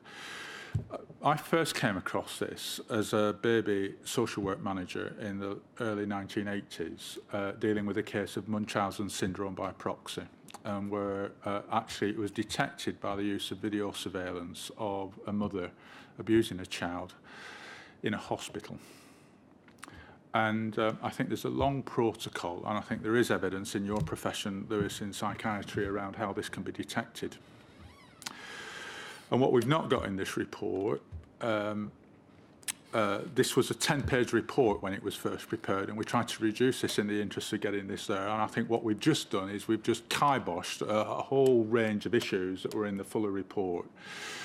And the key issue on Munchausen syndrome by proxy, and, and you would have taken all those kind of things through ethics committees about how you should actually deal with those. And what this does In shared areas, is it raises the issue about where intimate and personal care is being delivered, what are the, what's the ethics of actually that being recorded when it's by a provider or indeed by us? Robert raised the issue about governance, and I think some of the governance has got to be about the ethics of it, the morality of it.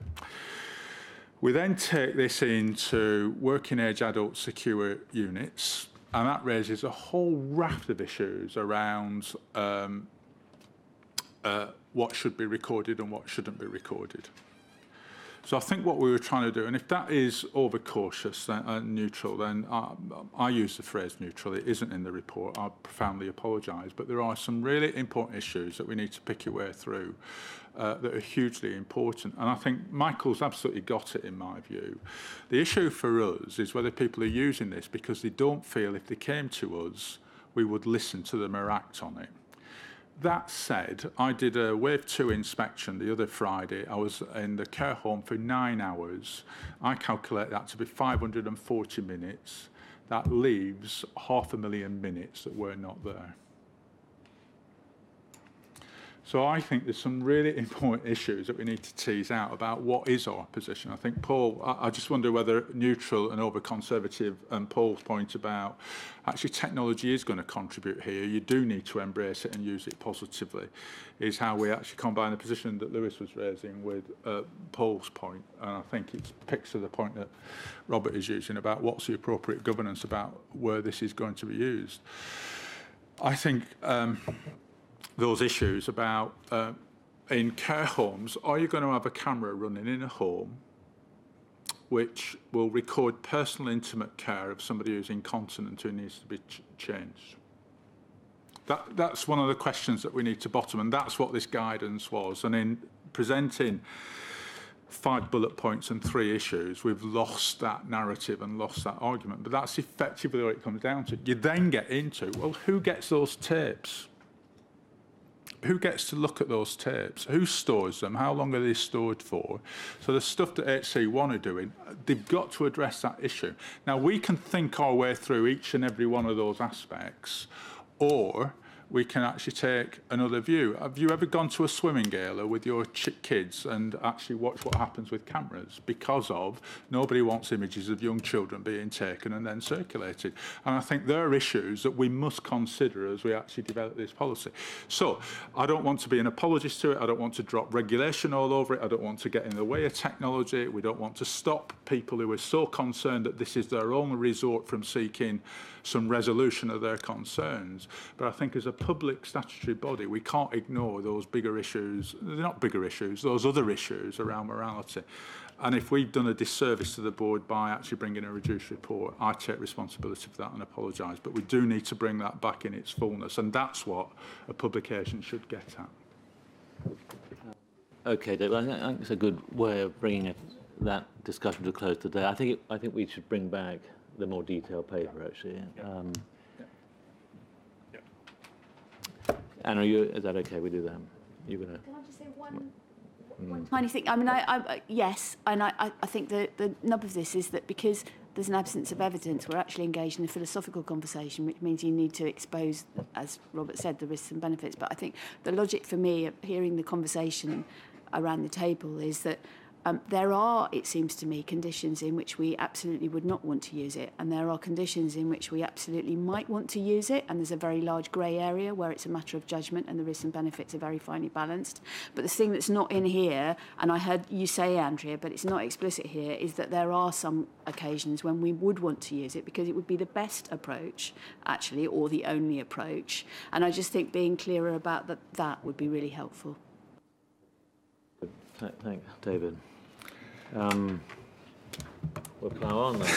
item four. This is the best 30 minute item I've ever had. But anyway, here goes. Um, so this is the fourth item decision um, and is um, one that um, I hope is um, self-explanatory. But um, uh, it's about the transformation programme. We've had a gateway review um, and um, a first paragraph in italics on page five is um, the Gateway Review, and uh, that's their comments uh, in relation to the review.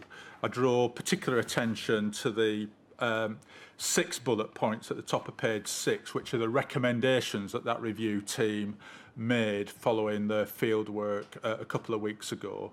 Their conclusion was um, uh, that uh, this work is progressing, but they do think there are work we can do, particularly on this issue about benefits realisation, just almost to pick up where Anna left that last item off, and in, uh, indeed in relation to value for money. They've rated uh, the confidence assessment on delivery at Amber. Um, David, what I'm asking uh, in this report is that you note this report, and I think the full report and the response to the recommendations should go to uh, Paul's committee, uh, the Audit and Corporate Governance Committee. That's uh, a committee in March, I think it was, had a full review of the preparedness of the transformation programme, so it will be consistent with the work that they did, that they give some further deliberation. So I think this is a cautiously positive report in relation to the transformation programme. There are some recommendations which the executive team certainly have accepted uh, in full uh, and uh, have begun to act on since they were made. Um, uh, I'm, sure uh, Hilary and other colleagues will be happy to answer any questions. But um, as I say, I, I think it probably needs scrutinising through the Audit and Corporate Governance Committee in some uh, further detail. Hilary, did you want to add anything to that? I'll be brief, thank you. Uh, just to say that this is a, a, a public sector methodology used widely, um, using skilled assessors to give an external review about the deliver de deliverability and leading to a rating. The real value for us is in the narrative analysis and recommendations that we take forward. So um, it's, uh, it would be really valuable to use the Audit and Corporate Governance Committee to help us uh, test whether we're doing all of the things, both in the recommendations and the narrative, uh, that will enable us to deliver the transformation that enables CQC to deliver its purpose. So, Paul, will you pick that up at the um, Audit Committee? Uh, yes, we'll certainly do that. I think uh, just to note that the next ACG meeting isn't until the 5th of November, so it's quite a long time ahead. So I think in the meantime, perhaps we'll try and do something um, in interregnum, and, and if perhaps in a month's time we can have an update for that for committee members as to what the recommendations are, where we are, etc. That will give us a starting point, and we'll just keep monitoring up to that committee date. Very happy to do that.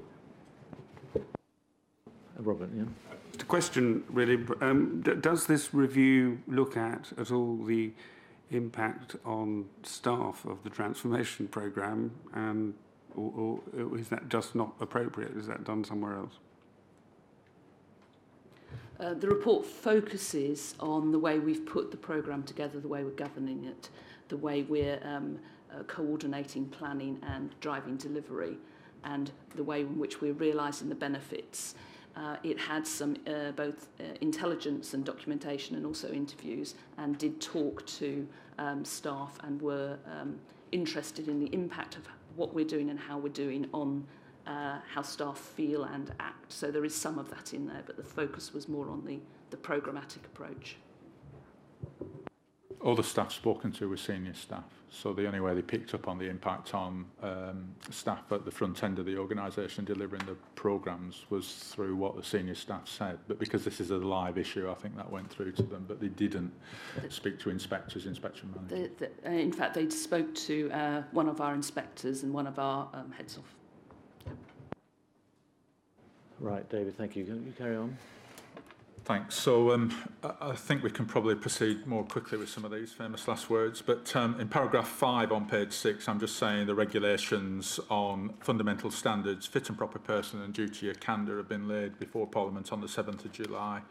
Uh, fit and proper person duty of candour comes in for the NHS from October of this year. Uh, for all other sectors, it's from April 2015, as do uh, the fundamental standards. Um, the regulations to give us the power to rate services were laid before Parliament on the 11th of July. Um, the key issue here is about uh, how we prepare staff and the Academy are developing programmes, uh, training programmes which will equip staff with the knowledge in relation to uh, these new regulations. So I'm just asking colleagues to note this item. The following item on enforcement policy, we covered last time at the June board and um, that document has now gone out for consultation and pick up on um, the regulations that are coming through um, Uh, they've also been uh, published, uh, the um, regulations guidance was, published on the 25th of July. So these things are now coming together as the tools that need to support the delivery of our new methodologies and uh, we'll bring back on that item the final policy to the board for approval. I'll just pause at that point, David.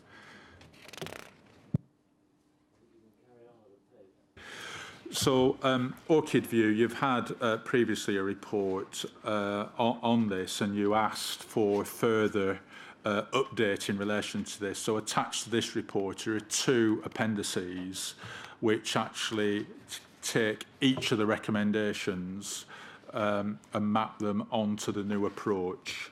Um, uh, they do this in two different ways, which is why there's two different annexes. Um, I hope this gives um, the board the detail that they wish to see in terms of what did this mean. I've got an apology to make to the board and, and indeed to any um, uh, relatives uh, who had uh, the family members in Orchid View. On the very first page, uh, I've uh, referred to this as Orchard View, not as Orchid View, and I can only apologise for that error. Um, that responsibility sits with me. But um, uh, I hope what this uh, annex, the annexes do is give you a sense of the uh, detailed work that is going on in relation to Orchid View. Uh, I'm asking you to note this, but again, David, I'll pause at this point in case there are any questions in relation to uh, the appendices that you've got.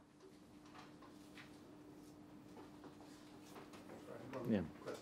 Hesitation. I, I, I noticed that on recommendation 10 at page 3, um, provisions about where there's no registered manor, uh, manager in place, and those are, I think, an escalation of perhaps what was happening before.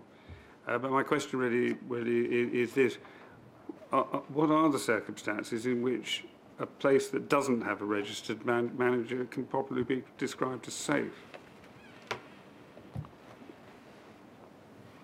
What what um, uh, what we've done um, with providers and and with the um, approach that we took uh, with fixed penalty notices uh, last year was um, to, to give um, providers six months grace um, in terms of somebody resigning and then recruiting and uh, a new registered manager um, uh, uh, uh, coming into into post um, and registering with us because there's a there's a kind of process which will take time um, but basically we would be looking to make sure that um, there was no gap that was longer than six months. Is there an expectation of sort of other precautions in the interim in, in the interim? Yes, and, and, and in the main, what, what providers would normally do is either they've got somebody interim coming in and covering that position, um, uh, um, who may well be a manager but not formally registered with us, um, uh, but going through that process, um, or, or would be acting somebody up. Um, so, you know, I mean, I think that we've made a really strong um, uh, set of, taken a strong set of messages out to the provider set to say registered managers um, are absolutely critical. Um, we can see a correlation uh, between an, the absence of a registered manager and um, lower levels of um, compliance in, in, in old speak. Um, Uh, and so we know that that's something that we should be pursuing from an adult social care point of view, which is the reason why we um, uh, took the action that we, we took last year around fixed penalty notices, which did indeed encourage people either to um, register or indeed to, uh, to get somebody in post.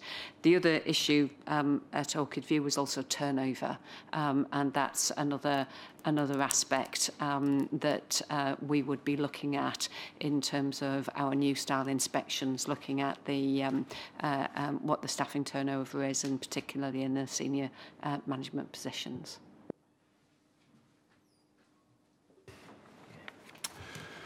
Um, as a result of um, the approach to medical revalidation, um, we need to bring a, an annual report to the board, which is based on the audit of the approach to revalidation. This is the note of the work that has been undertaken in CQC to discharge that responsibility for the last financial year. This is uh, 13 to 14. And during that period, we had no doctors that we needed to revalidate, which is why it's brief and is uh, presented in this form. There's documents that sit behind this.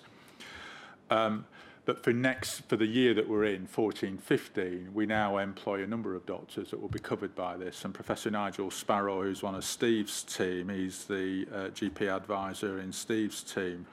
Nigel will take on that responsibility and oversee the revalidation of the doctors that we employ, um, where uh, they have no other employment where they're covered by revalidation. So uh, one way or another, all doctors have to be revalidated. If we're using them and they're employed by another body, they'll be revalidated by that other body. For those that we employ and they're not employed anywhere else, it means that we've got to do the revalidation. So what this is doing, David uh, and colleagues, is saying it was a no return for last year, but we'll have to have arrangements in place and we need to bring that to the board for this year, 14-15, and uh, take it forward on that basis. Um, uh, mental capacity, we've previously had discussions, you've asked for an update. What this is doing is just giving you an update on the fact that following the Lord's uh, report on mental capacity, where they made a number of recommendations about um, setting up a new independent body uh, and changing some of the deprivation of liberty safeguards. The government have taken a view that they're not minded to do that. They've set up a working group and uh, CQC are, uh, are parties to that working group. In the meantime, um, mental capacity and deprivation of liberty safeguards will continue to be a significant part of the inspections that we undertake across all sectors. So I'm asking the board to note that. The Information Governance Committee, which is a subcommittee of this board, uh, Paul chairs this uh, uh, on our behalf have actually undertaken some work where they've been looking at reports and the use, uh, what those reports, inspection reports say about the sharing of information. And um, they're making a number of recommendations which are set out in the report. And again, I ask members of the board to note this uh, as we get ready for the uh, uh, election uh, in uh, 2015. Um, the formal bits of that have begun with the note coming out from the Cabinet Office saying um, that uh, speaking uh, formally to opposition spokespeople by people, including ourselves in arm's length bodies, uh, we need to have discussion uh, with the permanent secretary for anything that isn't routine uh, business. Um, So if it's to do with what might a future government do after the election, what this means is we're asked to go through the permanent secretary before any discussions take place. That will be operable from October of this year. And then the last issue, well, not the, quite the last issue, if I may, David, um, I'm just asking uh, the board to note an item in terms of changing some delegations uh, effectively from Eileen down to Francesca Anetta. Um, two additional things I wouldn't mind adding. Uh, some good news. Uh, I heard this morning that um, as a result of some work that has been undertaken with the Equality and Human Rights uh, Commission, uh, a bid of, uh, for funding to support uh, the training and development of all of our staff in uh, um, the equality and human rights aspects of our work has been supported. So we're due to receive um, uh, £450,000 from the Equality and Human Rights Commission to help us uh, take that uh, work forward. And then just um, uh, a brief uh, advert. Um, you remember we had a debate here about independence uh, earlier in the year, and um, as a result of that, uh, one of the outcomes was that we should uh, make a presentation, a speech in relation to the nation, nature of our independence. That took place last night at the Institute for Government, um, and um, the outcome of uh, not just the speech, uh, we published this pamphlet, which is um, by the snappy title of Healthy Regulators, and it's looking at how trust and independence uh, are critical to delivering our purpose of um, ensuring people get access to high quality safe care. Um, so we've opened up some of the arguments about the nature of trust and independence in this and I hope by the end of uh, the board there'll be copies of this that will be available for uh, board members and if people want uh, copies of the speech that I gave, the presentation I gave, that will also be available. It was responded to by Stephen Dorrell and a senior colleague from Sonia, and I've forgotten her surname, from Which, who gave a consumer angle to the presentation. So um, that's, that's, the, um, that's me finished, David. Good. Um, um, thanks very much, David. Well, look, we're not going to stop for coffee now. We're much people are desperate. We're going to have to carry on, I think, if that's all right. Um, so the next next item, um, David, you're doing it again, I think. It is. I think we agreed that we'd try and present this performance report in a slightly different way, with me presenting the overarching messages, and then as we go through the detail of this, I think Chief Inspector colleagues and, and probably uh, Paul and Eileen would make a contribution when it got to all the difficult questions. So um, what this is doing is uh, setting out a high-level summary of um, our performance during the first quarter. Um, I think the covering report speaks for itself, David. Um, we've touched already on um, the detail of the work for this year and the balancing the work with the resources we've got. Uh, we've touched on the WAVE programme, which is also covered in uh, my report uh, and the uh, development of the transition programme. Uh, we're about to go into the item on uh, the evaluation from Manchester Business School and the King's Fund on the um, work that Mike has been leading on. So I'm not going to steal the thunder of that.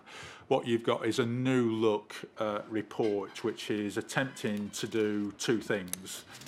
Uh, part A of this report is going through the strategic measures um, really attempting to address the key questions about whether there's been an overall improvement in services, our providers confident with what we do, and there's uh, a huge amount of detail in there about the results of surveys that we've undertaken about how providers view us. I'll not dwell on those. I think um, key to our work, and I pull this out in the covering paragraphs in the annex itself, are on page 17, which is the length of time providers have been non-compliant. This is using our old methodology.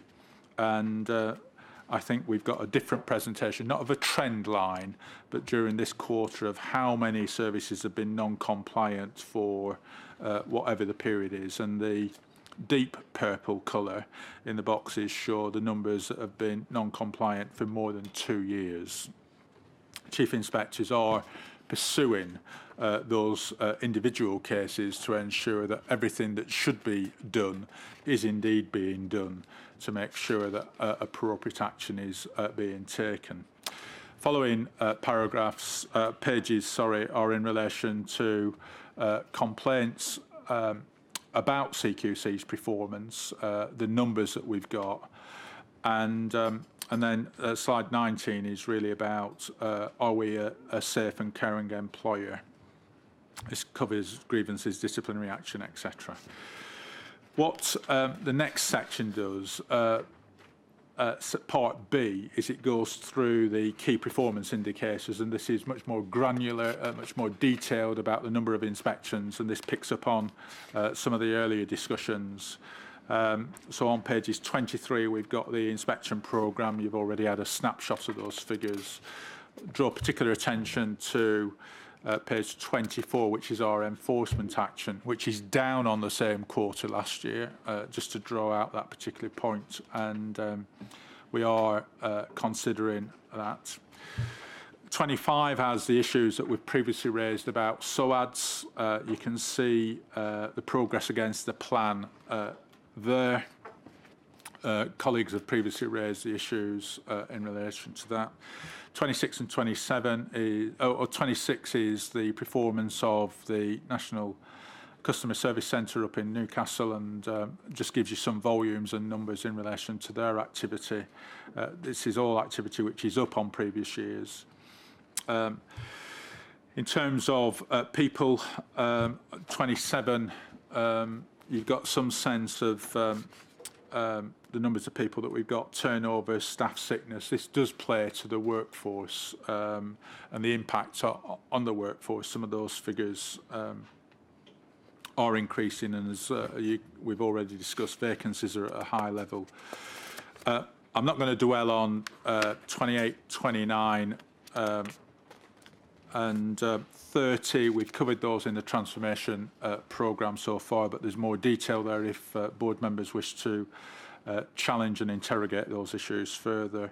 And then on pages 31 uh, onwards, there's uh, detail around finance. What you've got on 31 is an overall financial summary, goes into some detail about performance, importantly, and this is new and different on page 32, you've got the run rate. If that level of spend continues towards the end of the year, what would we expect to be in uh, in our outturn position at the end of this um, financial period 2014-15 is really what the run rate is attempting to uh, identify. Um, and then that's all drawn together in the financial position and forecast on page 33 and uh, what follows on page 34. Um, page 35 is procurement, and um, these are the contracts that we're buying. And again, uh, I think what we wanted to do in this is make sure that there's a regular report on procurement, uh, the procurement that is taking place, but also what the top valued contracts are that we've got that are extant at the time, and they're captured on page 35.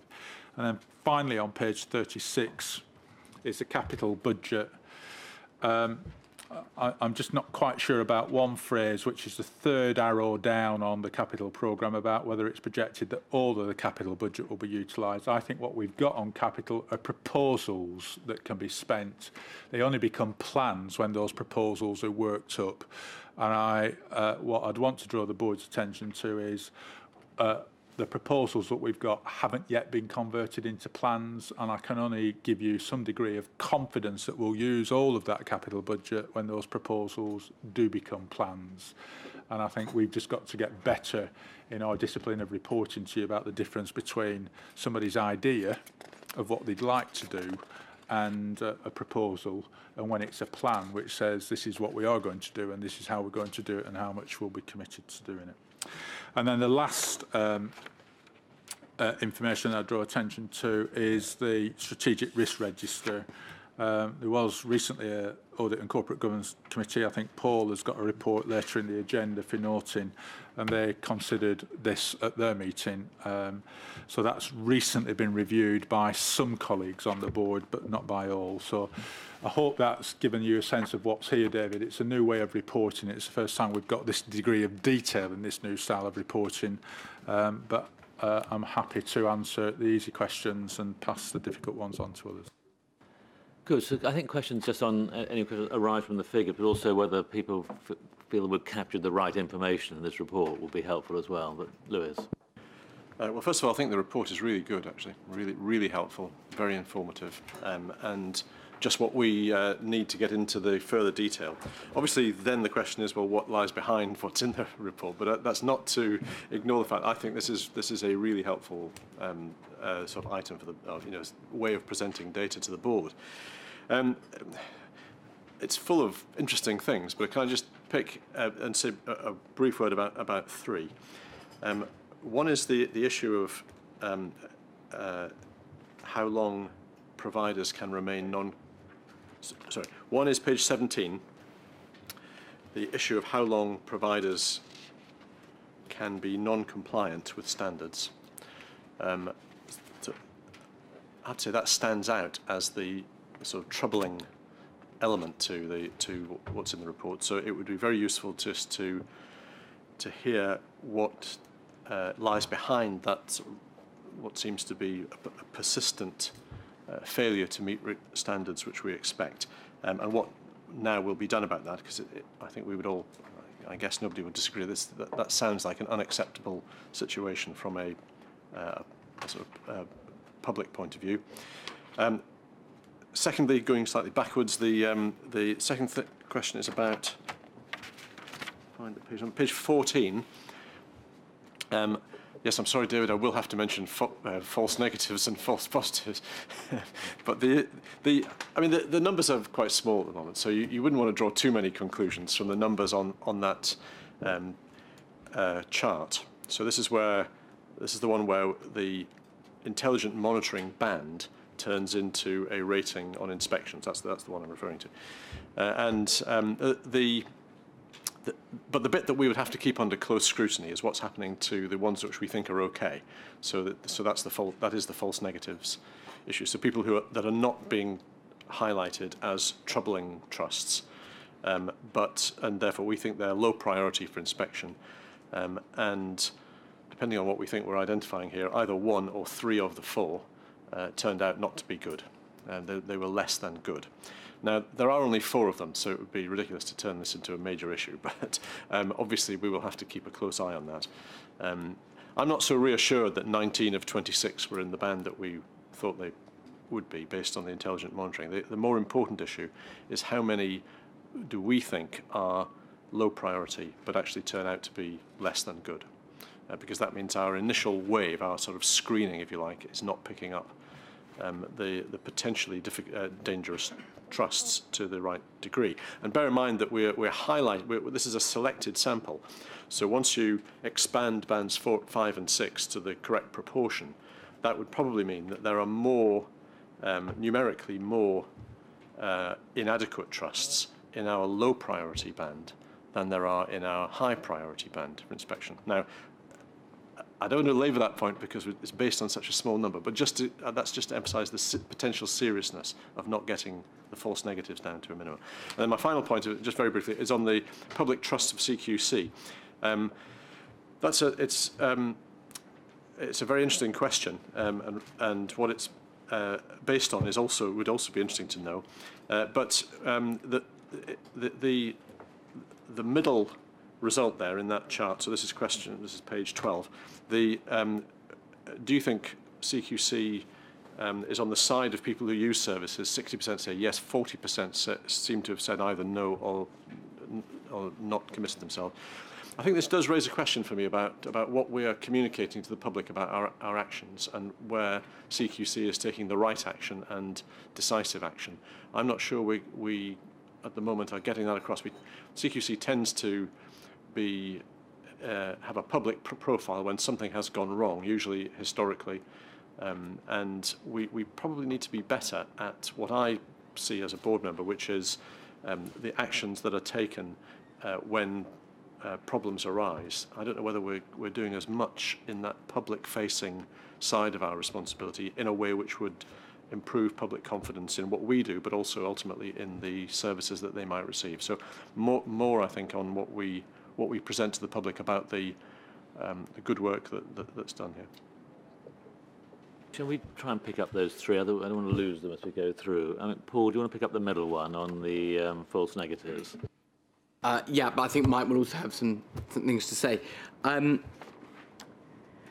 it, it, it, does pick up on the earlier conversation and the points that you've raised before, and and, and it's and it's right. It, it doesn't intelligent monitoring doesn't simply doesn't pick up everything, and it does have some false positives and it does have some false negatives. Particularly looking at the um, uh, the bottom uh, set of uh, bars, the bands five and six, um, that then turned out to be inadequate or requires improvement. I'm pretty sure the inadequate is Morecambe Bay, isn't it, um, Mike? Um, and it's worth saying sort of two things. Out. Firstly, um, the reason we picked um, the, uh, some of the uh, hospitals trusts to go into was because we had other information beyond the tier one, beyond the comparative data that we can publish in intelligent monitoring. Um, but we, knew, we thought there were other things going on. That's why we prioritised it. So what it absolutely isn't um, is a um, um, a fair sample of ones that we thought were fine but turned out not to be. We didn't think they were fine. It's just the reason we didn't think they were fine uh, wasn't in the first tier metrics of intelligent monitoring. It was picked up through other parts of intelligence. Um, and the other thing to say is that um, because we use that first tier of in, uh, indicators, because they're the most robust, they also, they also tend to be the most lagging, so they also tend to look back in time. Um, so if memory serves, they were banned uh, Morecambe Bay was band five for the um, the latest data we had available, which was October 2013, compared to when we went in, which I think was January or possibly February, um, about that time. Um, but by the time we'd got to the March publication, uh, which was using data obviously more up to date, uh, they were already in band three. So if you like, the top half of risk. So I certainly wouldn't want to leave the impression that they intelligent monitoring and or our knowledge of what was going on in those trusts was, was nil or thought it was all fine until we set foot on the, on the hospital site. Um, but I think that, that you make the point very well that we have to keep looking at the false negatives and we have to keep just bearing down on it and changing our metrics and learning which ones are the ones that most predict and to keep going. Add to that or not? Very briefly, this is precisely why I made the intervention earlier, um, that, that we, we don't only go by uh, uh, the intelligent monitoring. I think we did choose these other hospitals because we, we had concerns. And so that is, that is the soft intelligence, the, the tier two or other intelligence that we get. Um, and uh, so just for, for information, uh, Paul's identified the inadequate as being Morecambe Bay, um, and the two requires improvement are Cornwall and Peterborough that we have, um, uh, but we had concerns and we went in. The two issues that um, Louis raised, just on the enforcement, the people have been had enforcement actions outstanding for over a year, and it's, it's mainly you, I think, really. That's that's one of those difficult questions that David was passing over. Um, um, no. um, so, uh, what I, I want to say two things about that. Um, and I also wanted to pick up the uh, uh, the final point that Louis made as well, um, make a contribution on that too. Um, so on on those those services, we are looking at them uh, uh, proactively and making sure, as David said in his introduction, that um, all the all the right. Action is being taken. And uh, there, there may be some data cleansing issues in there um, in terms of making sure that it's absolutely accurate, and so we'll pick those up.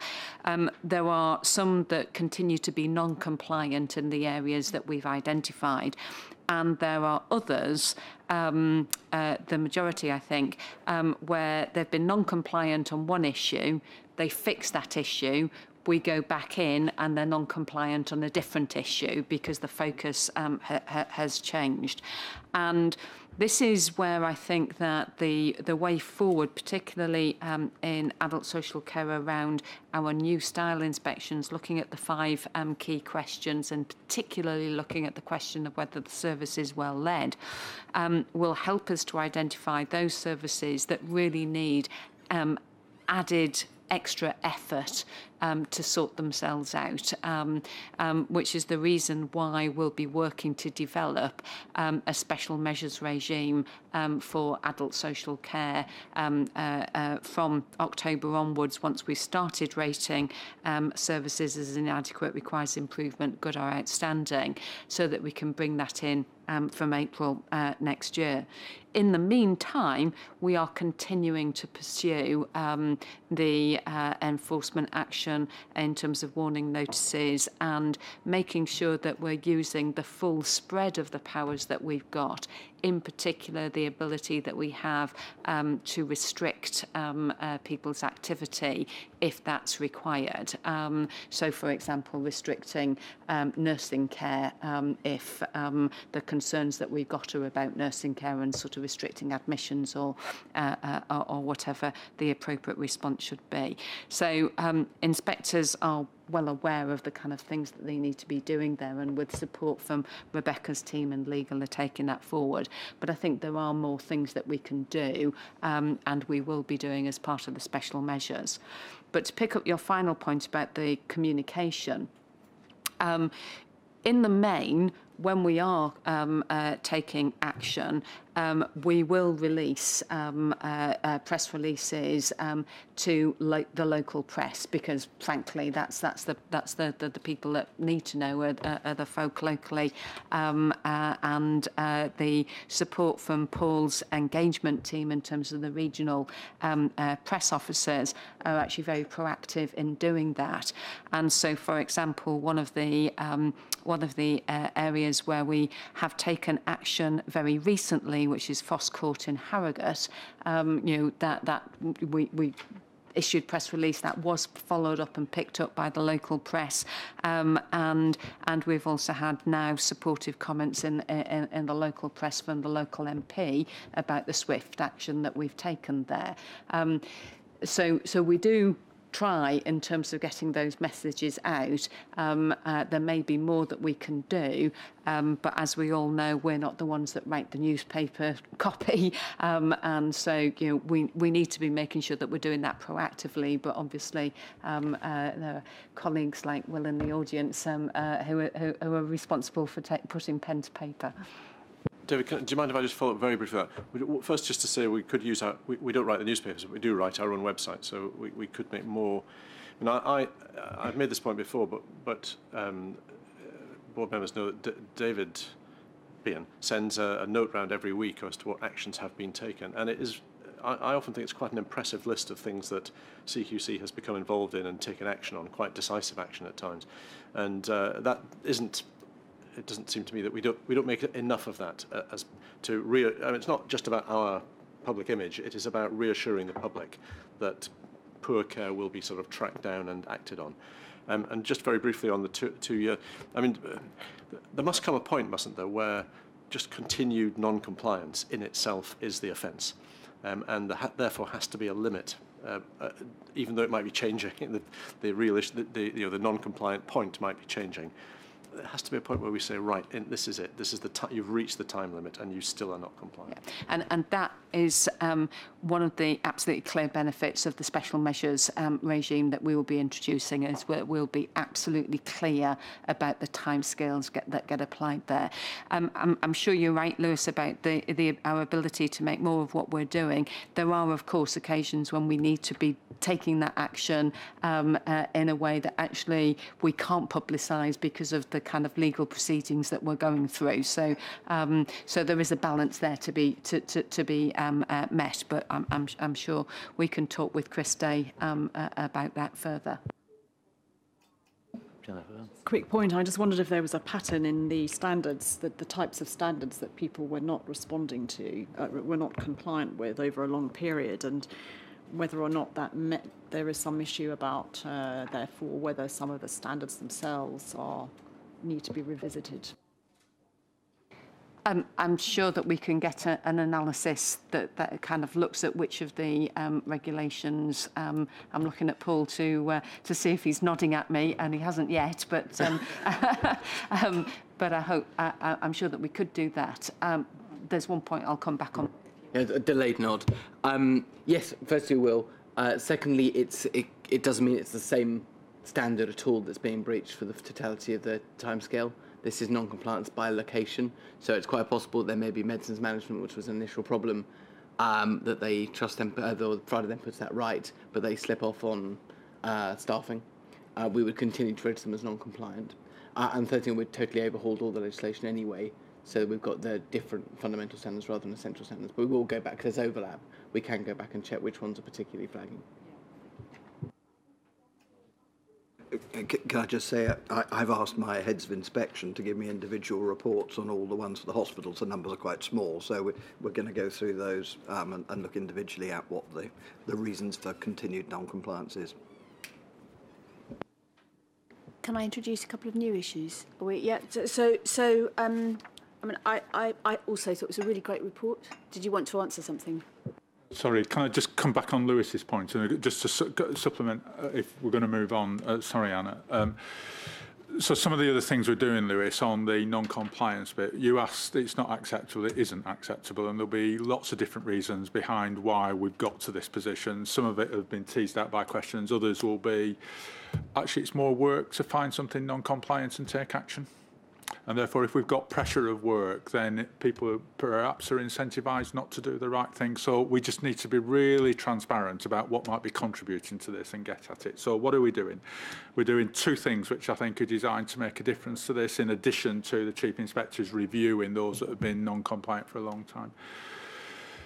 Um, we're introducing enforcement advisors as part of our structure across all three inspection directorates and these are people that will have knowledge and specialise and be available to their colleagues to give advice on enforcement. How do you collect the evidence? What do you need to do? How do you take it forward? And each of the directorates will have that capability and capacity.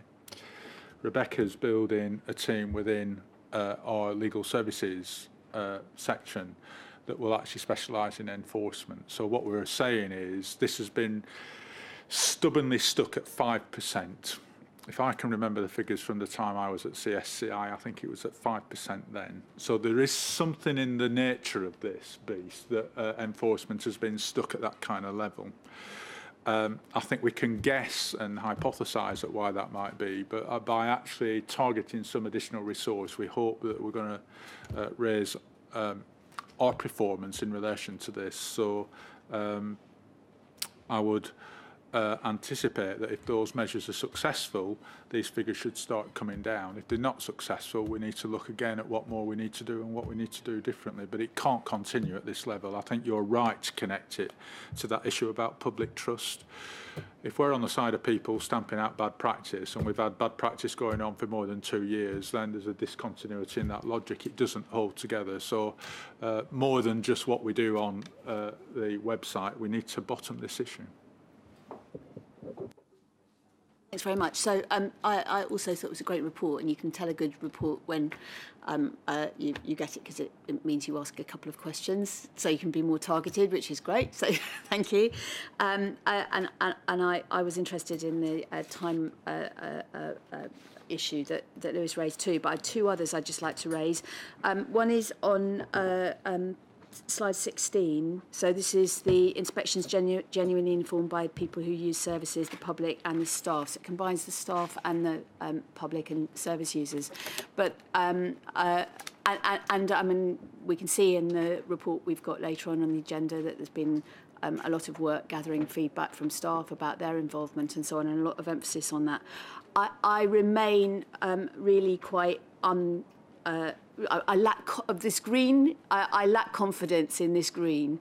Um, I, I, I just think um, we are, this, is, this, this is a potential recipe for um, uh, us being a little bit complacent about this aspect. I don't think we have properly focused our attention on it yet. Now, I know we're due a paper in, in September, but, but, but what I'm hearing from Local Healthwatch, which is reflected in a different slide in the pack, um, is that actually they don't uh, uh, have trust and confidence in the public engagement that's going on around uh, uh, the CQC inspection regime. And I think we all know that the tool that we've currently used is the tool that was uh, inherited from the past of the kind of the public meeting, but probably not the best and right way to go about getting the public as opposed to a set of people with a particular set of issues uh, that they want to raise with us, which is still important to hear, but but not about uh, that that kind of quality of public engagement. So I just that green, I just wonder whether whether it's right.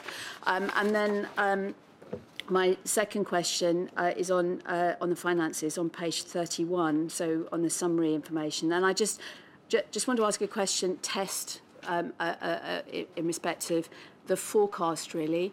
Um, so if my understanding, if I've understood this correctly, the primary uh, source of underspend is uh, um, staff costs.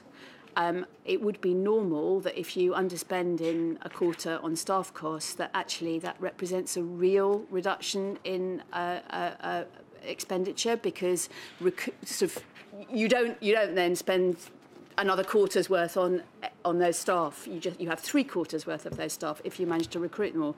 So so if, if the primary reason is a shortfall in staff costs, it seems to me the reforecast actually should reflect that we won't have those expenditures unless it is the case that you um, anticipate new and unforeseen expenditure to remedy the fact that we didn't recruit the staff in the first quarter. So I just want to test that proposition.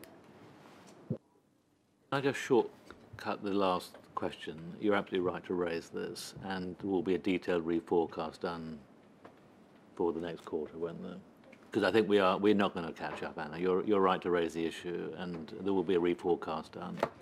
So, so can I can I just ask a, a related question then? Because uh, by the time we see that again at the end of the six month period, I my understanding is that there will also be a departmental six month, uh, a Department of Health uh, six month uh, review of arm's length body expenditure, um, and and there's some there will be some uh, pressure at the six month point uh, um, to be uh, not only very clear about the um, uh, forecast position, but but also potentially to uh, recoup to the centre some of the underspend. So actually, that six month position is going to be very critical for us. and and and and it's three months away, but we haven't we haven't got the information uh, in front of us today. So I just just delicate moment really. Eileen, Um, I think you- you're right, absolutely right, Anna, to, to raise the, the issue of what this presents. Um, I think there are two things. The, the mid-year review with the Department of Health, um, the discussions to build to that are happening already in terms of um, what position will we show at month six, what will the outturn be at the end of the year, and then crucially, what will the activity and the resource required in 15-16 to deliver to the plan that we were talking about earlier. So although of course there is discussion about recouping to the centre, there's also a very realistic discussion about delivery by CQC to plan and an understanding of the resources that we require to do that. Um, what um, we will find uh, as we move into quarters three and quarters four is that a new people will come on board, um, so the the pace of recruitment will pick up. So we will see some of those costs coming in. So the the actual profile of the cost changes month by month. You'll understand that. And the other thing to note is that because, um, as Andrea rightly noted, there are more inspection days happening than there were last year um, what we're actually doing is deploying um, bank staff and to some extent also paying overtime. So we'll see that coming into uh, some of our figures also.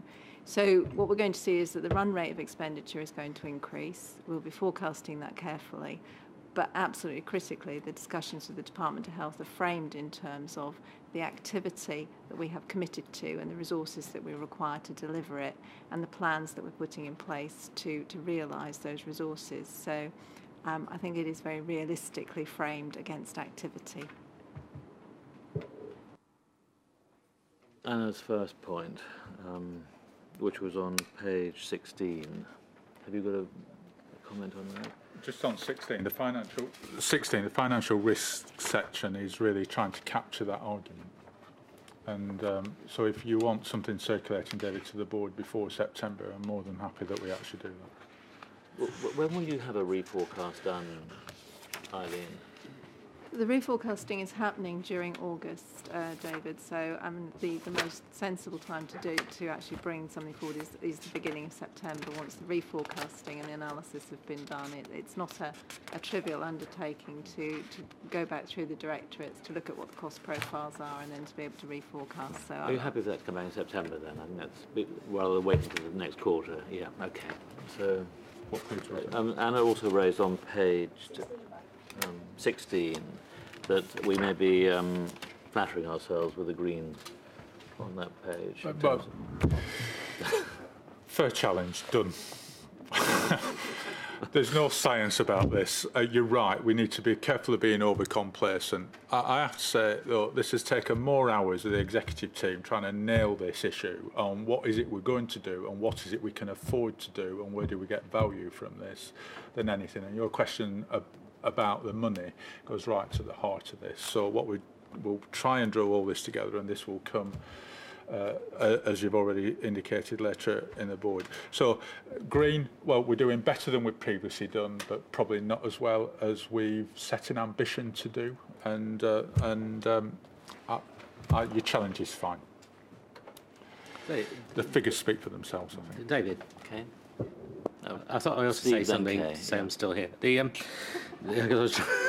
the um, I think Anna's point is absolutely vital on the patient survey part of it or the public survey part of it. I, I don't think the num- number, the 97% people use the services were involved in the inspection is a valid number for primary care, uh, to be absolutely blunt. Um, if you ask a provider whether um, people who use the services were involved, they're going to say yes. That might be n equals one or two. What we're finding when we go round the practices uh, is an improvement on what we thought about the number of patients involved in patient participation groups and things like that. But in reality, if you're looking after a population in a geographical area, I don't think we're sampling well uh, to start with as CQC, and I don't think the practices are actively engaging in all of the patients that they serve, particularly the vulnerable groups, uh, people with mental health issues, etc. And so uh, that's why when we're looking at our methodology for primary care, uh, we're going to do things very differently. Um, we're going to involve Healthwatch much more at a local level. When we go into CCG areas, we'll be sampling across not just primary care, but talking about social care as hospitals as well. The danger with a figure of 97 is very similar to the satisfaction rate when you see your GP, which is usually in the high 80s and 90s. If you ask a particular question a particular way, you'll get an answer. Uh, and what I'm really concerned about is how both the services serve their population and how we sample that to get a real view about how the services are doing that. So I'm completely, as usual, with Anna. Robert. Back to page um, uh, 17 and the concerns that really have already been um, raised. I, I, I can understand, particularly if we're looking at old standards, that, that there's a sort of a slight attitude there are standards and standards, and some matter more, more than others. Uh, but experience has shown, hasn't it, that um, tolerance of non-compliance for long periods of time is in itself a risk of, to safety. And, and I wonder to what extent we are yet good at distinguishing between what is a real and current risk to the people going through the door or whatever the institution is now, uh, and whether there's still a degree of institutional complacency um, about that, uh, indicated by these figures.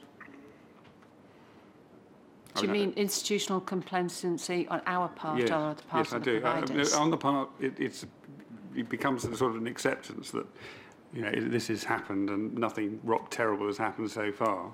And actually, what you're looking at is a period of risk to which people are being exposed because nothing is being done about these matters by the registered organisation and and and that's the kind of conversation that we're having with inspectors, um, in particular about those areas where the non, as as Paul quite rightly um, described earlier, the compliance is by location and not by specific. So it could be just moving from one to the other and um, uh, and coming back to what Louis said earlier, which is continued non-compliance. It doesn't matter whether it's kind of one regulation or another. The fact that you um, you're not getting a grip um, of the uh, of the service across the board is an issue for us and is an issue for us that raises um, uh, uh, risk, uh, a level of risk. I think that we have been hampered to some extent by the compliance, non-compliance judgment that we've been making against the regulations up till now. What will significantly help us is the um, focus on how well led the service is, because I think that's how we get the um, we look at it afresh, um, which I think kind of helps us in terms of saying we're not just going to accept what we've had before.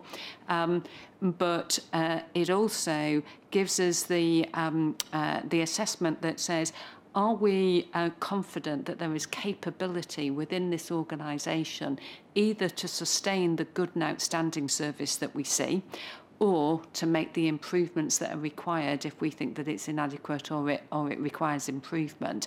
Because you know as David quite rightly said we might be there for 540 odd minutes um, a, a year, but there's um, there's an awful other, lot of other minutes that individuals are using those services um, that we're not around, and we've got to be able to get the confidence in the leadership of the service to make sure that they are doing the job that they're being paid to do um, uh, when we're not there. Okay. Okay. Yeah. Um, I'd just like to go back to the um, slide 16, um, which is actually about, um, you know, our inspections genuinely informed by um, people who use services. Um, and I think there's a lot happening and, and more planned. And I actually think that we should look at, at maybe changing the measures for this, the performance measures, because what we really need to be asking, we need to be asking patients themselves, experts by experience, local health watch, whether they feel that our inspections were genuinely informed by people's views and experiences. Whereas here we've got providers, which I think you know Steve has explained the limitations with that, and then we've got a general one about inspection teams, um, but that could just be uh, a few inspectors. I, I don't know. So, you know, um, so I mean, generally, I think this performance report is actually very good. The way that it's all set out, and uh, you know, it's it's one of the best I've seen. You know, it's honest and open. Um, but I but I think we could potentially revisit the the performance measures on on that, so you know, it actually reflects what um, what it's supposed to be measuring. Yep. Thank you. I think that's a generally held view, actually, that that slide could be looked at again. Paul, you're going to take a different view. No, they will do it because there's a lot more to what we do than is presented on here. And Anna rightly pointed out, to give an example, if we were if we use listening events on the day before we start inspection as the main way to gather people's views and concerns, would be in all sorts of trouble. We, we still do do it and we need to kind of work out that's just a legacy issue. But the fact that we use experts by experience, the fact that we look at the compla- uh, complaints and concerns data, the fact that we have all the survey results, and the fact that we do talk to local health watch and we need to get better at it, means that there's, there's quite a lot of things going on. We really need to test and report on is how well each of those things are going. Thank you. Any, anyone else wanted to raise issue on the performance report? Good. Um, thank you very much. Um, moving on then, I think, Mike, we're on to um, Kieran Walsh and the King's Funds report. Yes, I'm not absolutely sure whether Rachel Adcock was going to attend today. I'll- Can we just, I'll go, Mike. You, you, you. shall I get, She coming. I, don't know. I d she wasn't, I, she, I just saw that on the Yes. agenda she was down to. I just, in case she was there, I didn't want to. So, I, I mean, the, in, in terms of the Kieran Walsh report, um, board members will remember that we've actually discussed uh, an interim report on this before. This is the, the, the, the, the final re- report. We commissioned uh, Kieran Walsh from uh, University of Manchester and the King's Fund to look at our uh, new approach to hospital inspection right from the outset. Um, and really, they looked at wave one and then part through, through wave two. So, um, and I think it's given us some extremely valuable and independent uh, insights into it. I don't think the report has really told us anything that we weren't aware of anyway, uh, but that's good. Um, but uh, I do think it gives us the independent uh, report, and I think where the, particularly the independent report is, in, is valuable is actually also in finding out what the providers we've been inspecting uh, have to, think of, of the inspection report, because they, they might be nice to us, um, but I think they would give an independent view uh, to um, the, the academic group doing the um, re- report. Um, I'm very happy to go through it line by line or, or not. Um, uh, that you will see that the report is 77 pages before you get onto the um, uh, appendices, etc. Um, and uh, I think probably what uh, we will want to do is focus um, to a considerable extent on the recommendations um, and the, the page before that. So from about uh, the conclusions and recommendations, which start on, on page uh, 74 onwards, and uh, also we've listed here um, in, in the covering paper for the board uh, what uh, is happening in response. So we, we are accepting the, the recommendations and we are already working on them. Um, and in a lot of cases, things have moved on a long way or, already. Um, so uh, just to uh, give you the examples of that um, in terms of the preparation before we go on site where um, perforce in wave one, we couldn't give people much notice of that. We're now aiming to identify which trusts we will go into um, about 20 weeks in advance. Now, we, we we will always leave ourselves some leeway so that if trusts uh, emerge as concerns, we can go into them sooner. Um, but we'll be we're starting to plan for which trust we might go into um, for, for this coming uh, January, al- almost now, and we've already decided which ones we will do uh, between uh, October and December. So that that is uh, already happening. That gives us the ability to um, uh, first of all, get the, the, the right inspection team members. It's much easier, particularly with clinicians, if we want them to come on an inspection. If they know in advance, they can uh, let their trusts know they, they can then get out of doing their routine clinical duties uh, as long as they've given en- enough notice. So I think that, that helps us. It also gives us much more opportunity to get information from the trust um, and to prepare exactly what we need to, to look at. So that, that is, is already in hand. Um, we are um, working to um, realign the, the data packs so that instead of being just generic by domain, which is how they started, they are more focused on uh, the individual core services. Of course, one of the things that highlights is where even with the acute model, we, there, is, uh, there, is, there are gaps in information. So uh, we, we may have uh, information about the trust as a whole, but do we necessarily have information about children and young people services or maternity services? Um, but part of that will also enable us to go into a trust and, and ask them for more information uh, in, in advance. So we're working a lot on what, what are the, the pre-inspection questions that we will ask the trust um, before we go in. Um, we, we've slightly shifted the inspection round. The listening event is uh, on what we call day naught, in other words, the planning in the evening that actually means that we can use any uh, findings from the listening event uh, to inform the inspection itself. It also balances out the, the inspections and we're, and we're giving people uh, the, the rest day because uh, we realise that these in, inspections are very intensive. Um, we've got, uh, we've done well in terms of recruiting uh, deputy chief inspectors and the heads of inspection. We've already talked today about the fact we need to recruit more uh, inspectors. There's a training programme underway as we speak um, and again the training programme uh, has been based around uh, the eight core services and the initial feedback from inspectors who are going on the training programme is that they're finding it, it extremely useful. Um, so, um, but we will uh, have more to say on that in, in due course.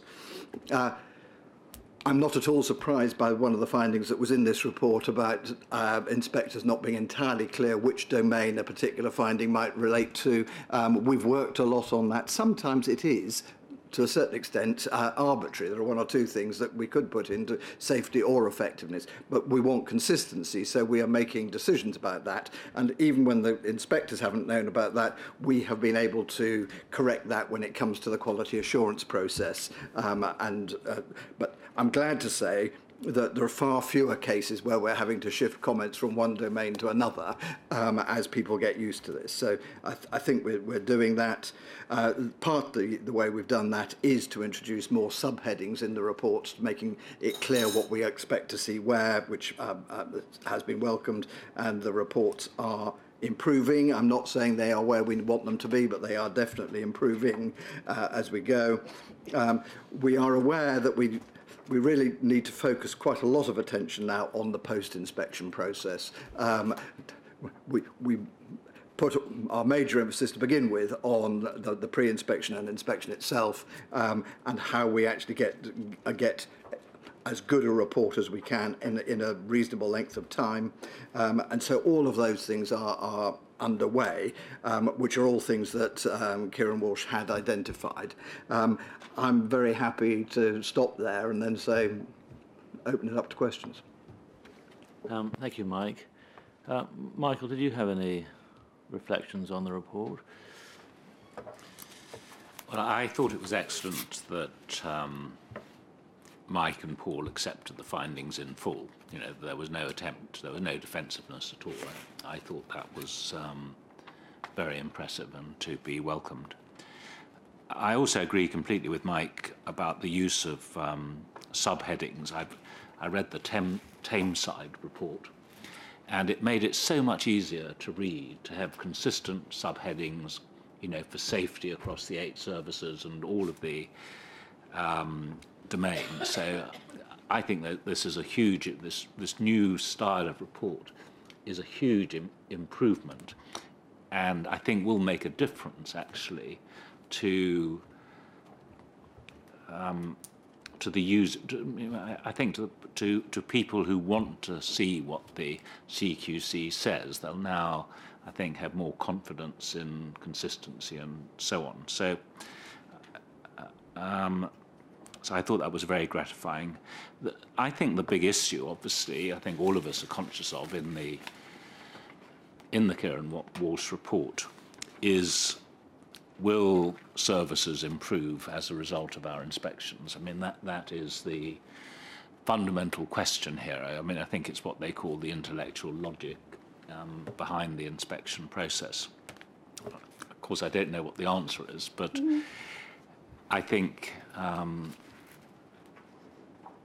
you know, perhaps the most important next step from the report is to um, develop a way of measuring the impact that our inspections um, and our, you know, must-dos and should-dos actually have. And, you know, this could be a case of, you know, the, the test is the re-inspection, I don't know.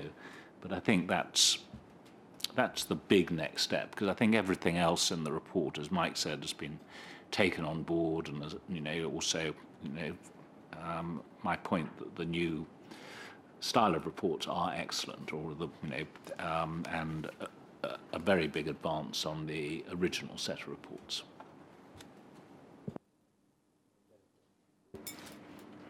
Thanks. I thought it was a very good report, and I think it shows the huge progress that um, Mike and his team have made in a short space of time, and also that the, the, there's a way to go uh, still to develop things. Um, I do think that uh, it would be useful for this kind of study, perhaps not to the same extent, but to be repeated in a year's time, just to see where we are with progress and maybe Mike, you began to list and uh, some actions taken, which looks entirely appropriate. But again, it might be useful to have a more formal follow up on that as well. Um, in terms of the overall messages, I just wanted to pick out a few. Um, the first one is on impact, which Mike, men- Mike uh, Michael mentions. Um, Paul will say, but there is an extensive um, plan, at least, to uh, evaluate the impact of CQC's work in a number of domains, including this one. So there's, there's, there's quite extensive plans for that, which uh, maybe it's important to remind the board at some point that that's going to happen because it obviously came up elsewhere with the Gateway review as well on value for money of our work. Um, one of the uh, other points I wanted to bring out is the um, the confusion in the roles of CQC and monitor that was brought out in the follow-up arrangements uh, for uh, improvement, which I think again that's I know that's what we're working on, but that's quite important too.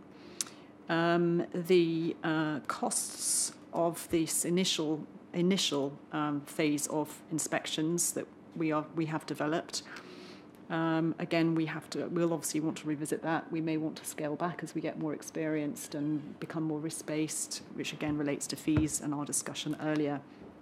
Uh, and the other thing, two other things I just wanted to say. The other one is the um, risk of challenge as a result of uh, possible inconsistencies in the rating. And that keeps coming up as being quite a loud message. And uh, I think we really ought to chew on that before our ratings go live in a, in a more explicit way than maybe we have done at the board, because I think we're, vulner- we're vulnerable to that. and on the back on the impact point, half of the trusts in the survey said they would act on newly identified issues pointed out by CQC, which means half wouldn't. Uh, and uh, 18% say they are not likely to, re- to result in, to produce, that, that the report will, or recommendations will result in service improvements. So I think that's uh, a bit worrying. I don't quite know why they would say that when clearly the reports and the whole process is so intensive and uh, helpful. Um, and it would be good to dig under that uh, as to why they are, why they're saying those things. Thank you. Paul, just just want to just come back on the on how we're going to measure the impact. Um, also, thought we can bring a, a more comprehensive paper on where we're up to and what we're planning. Um, and Jennifer works closely w- with us on this. Um, I think the board member, there was um, a paper a couple of boards ago that, sort of, that, that set out sort of the hierarchy of impact, starting from the position of people getting better services and improvement and working back to what the connection would be uh, to our work. Um, and hence, what we have is a, a sector by sector evaluation program to try and hit all of those metrics all the way through to our strategic measures in the um, uh, in the board report. But I can happily bring back a more comprehensive approach. I think it would be good to do that, if you wouldn't mind. Um, I don't know when when can you when would you plan to do that? And sort of We can do it at any stage. Can It's you- on to say it'll be this is what we're planning to do. These are the people that we're contracting with, where we're doing it outside. This is why we're doing it internally when it needs to be. But we can just we can produce that for September or October. Okay, thanks. Um, I thought it's a really interesting report and very valuable one. Um, I think it, uh, the fact that uh, providers were really engaged in this was was and, and their their positive approach to it I thought was really helpful. And there's a huge amount of learning that's going on very quickly in this at pace. Um, and the recommendations, I think, are, are largely within our gift to deliver on, or the providers to some extent, and they they may be willing to do so. The one bit which I thought was a bit risky in this, which um, I wondered about, was the uh, use of experts, and there did seem to be an indication that uh, while experts were um, enthralled almost by their being involved in this for the first time round, that that well, and while many of them said they'd be prepared to do it a second time round or more uh, uh more times, there, there was a falling off, I think, in with doctors in particular, and the more seniority of doctors involved. And I just wondered whether Mike's um, persuasiveness would be sufficient to maintain the level of expertise that we need to get in from outside on a, a voluntary basis to keep the uh, the process running at the level that we want to do that. Yes, I noticed that one person had commented that they did it because they were badgered by Mike Richards, and that was in the report. Um, I think I can probably guess who it was. Um, but that, I think, is partly actually trying to get the very, very senior people who will chair the ins inspections. Um, and in fact, uh, we, I think the key really is getting people uh, to uh, I know when they're going to be able to do it far, enough in advance, um, giving them notice. I think there is a willingness to come on these inspections. Um, I think we've had some very helpful and very positive feedback from the recent ex-president of the Royal College of Surgeons, um, Norman Williams, who chaired one of our inspections and then wrote in uh, his own college newsletter about the process very positively. Um, and so I hope that will help us to go on recruiting. I, I think we will go on using all our channels to find the right people to come on these inspections. But actually, quite a number of people have come back sev several times over um, and have been extremely good. And we're, you know, we are learning who we can rely on to get quite short notice, particularly when we need to do urgent inspections, um, which where we can't give them the full six weeks notice. Um, and the fact that people have been prepared to do that, uh, I think, is encouraging. Um, it, it will always be a, con a concern is whether that's going to um, fall off with time, but I think at the moment I'm not too concerned about it. Uh, uh, well, it obviously is a, a good report. It reflects what Kieran said when he came here, I think. Um, confirms a lot of the positive changes that, that you've made, Mike. I think it's, um, it, it is really a positive um, evaluation. Uh, I think it's good that it mentions this issue of consistency in ratings as a key thing. I, I do think that is still a, a big issue. Um, and because if you remember, we've had a lot of discussions here, very fruitful discussions about uh, judgment versus uh, standardized um, sort of algorithms. Um, and I interpret this report as being on the side on the side of trying to standardise how we do our rating. Of course, judgment is at the heart of what is then uh, the ratings that, the ratings that are then made. But in the end, they have to mean the same in one place as they do in another. And uh, I think the report is pushing us in that direction. I've just got one one question, if that's okay. And that, that's it's about this issue of um, the uh, degree of preparation or the time for preparation that's allowed, which I realise I've slightly lost track of because I, um, I thought that we were um, getting a balance of unannounced versus announced inspection processes, which didn't give a lot of time for uh, preparation. That was the, the point, that, that they, we would turn up. Um, and I've, I've done a couple of um, inspections, but they're under the old system, where I thought one of the strengths was that the inspector just knocked on the door and said, I'm here to inspect. And that seemed to me, and the staff took that incredibly well, I must say. Um, and but it was, a, I thought that was a strength. And um, yet here it sounds like there is quite a, a long lead-in time where people provide us with information going on for several weeks, and there's a recommendation where we might make that even longer. And but are, are you? How long is it? What's the average time at the moment that people have to prepare? Um, and are you confident that we aren't just giving people just a bit too much notice? Uh, I do remember the days in universities where we where inspections began in universities, where it was partly my responsibility in my university to prepare. Um, and there were uh, the people spent their entire time preparing not necessarily the standard of education, but the paperwork um, that would that would be presented to the inspection team. Now, that's often what preparation means. It's preparing the paperwork, and uh, that does worry me a little bit. Um, and uh, of course, I know that if we want clinicians to take part and be interviewed and so on, we have to give them notice so they can cancel clinics and so on. I think that's very important. I do accept that. But there is a risk in giving a, people a lot of time. And it is noticeable that um, very often we are just finding out uh, areas for improvement that they already knew about. Uh, well, they said they knew about, and but although they are admitting that they hadn't taken action or prompt enough action and so on. Um, but, and of course, you could say, well, that's very positive. That means that gives a validity to what we're doing. Um, it also means that the inspections are helping to hasten a process which maybe has got stuck locally.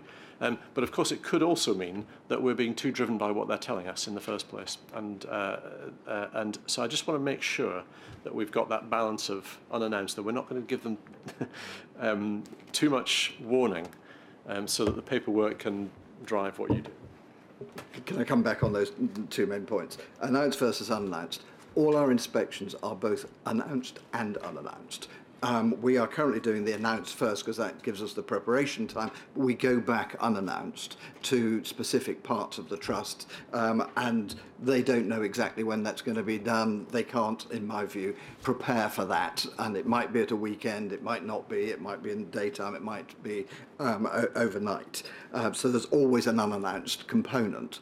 Uh, the other thing I would say is look at our reports. Are we saying that everything is good or outstanding? Um, in other words, even if they have prepared, um, we are finding really quite a considerable number of things that, that could be improved or indeed in some cases are inadequate. So, and I think the other thing, if you just take the methodology, by the time we go and talk to as many people in a hospital as we do, it is extremely difficult um, for them to hide things that, that we might not want to see. Now, I'm not saying that doesn't happen in one or two cases that they attempt to do that, but where that happens, our experience is that people start coming up to us on the inspection whistleblowing.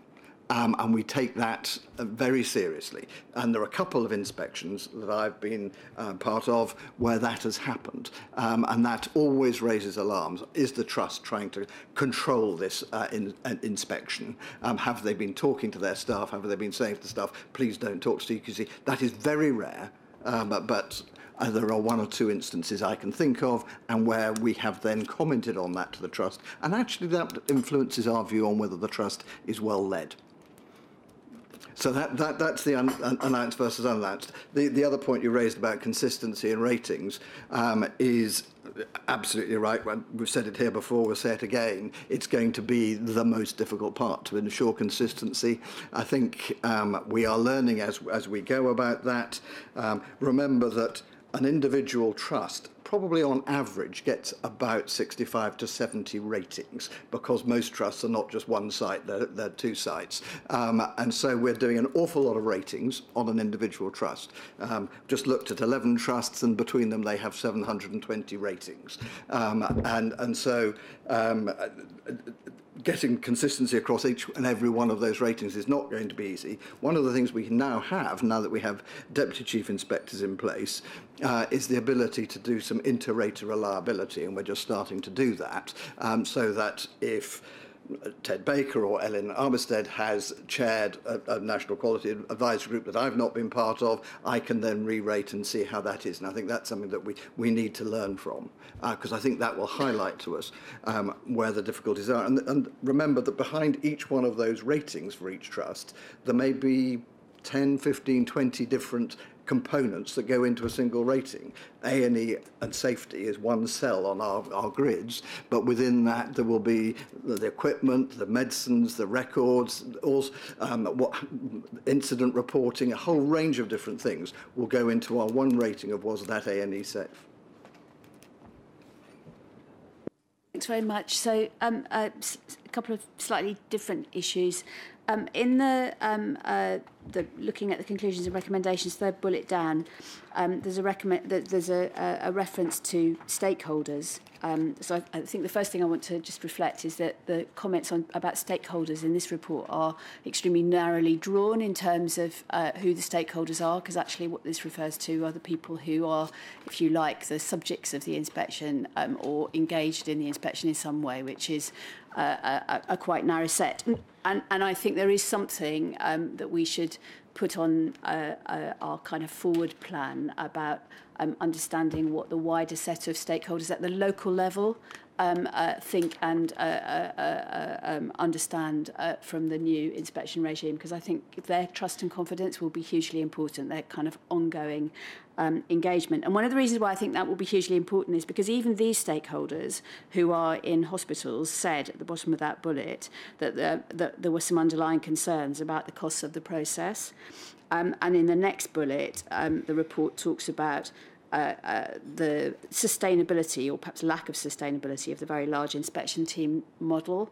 And, and there are, um, as we know, very big cost implications there. So, so, so I think this report raises some important questions about um, uh, if you like, value, value for money. Um, and stakeholders, this limited set, are also raising those questions. And I think that's important because actually when I've talked to some uh, wider stakeholders, not least Local Healthwatch, but not only Local Healthwatch, about this, I think there is this absolute sense in people, uh, uh, amongst people that what, what the CQC is now doing um, is, sig- is significantly better than what, what was there before. So there is an increased confidence in it, in, in, in, in the approach. But there is also um, an increasingly kind of um, increasing set of fables about the scale of some of these uh, uh, um, uh, teams. So, you know, I hear people say to me, "Did you know they had 80 people go in, and we, we know where that was. But so so there's there's a there's a there's a sort of uh, popular storytelling going on about the costs of CQC inspections and the scale of them at the moment, and at a time when there, as we know, will be increasing pressure, um, downward pressure on costs. There's there's a little bit of incredulity about that at a local level. Um, so there's a case to be made, and, and that's again why I think these local stakeholders are really important. We need to kind of understand them, but we also need to have a really good story to tell about uh, um, uh, in the loose sense at this stage because we don't have the hard wired value for money but the kind of the, the, the, the reasons why we're doing it the reasons why we're doing it this way and the downward pressure that we will apply uh, on, on, on the costs over, over time as I believe we should. And I think if we don't um, uh, start communicating um, those kinds of messages then the, the, the sort of popular uh, uh, stories will, will, will take over.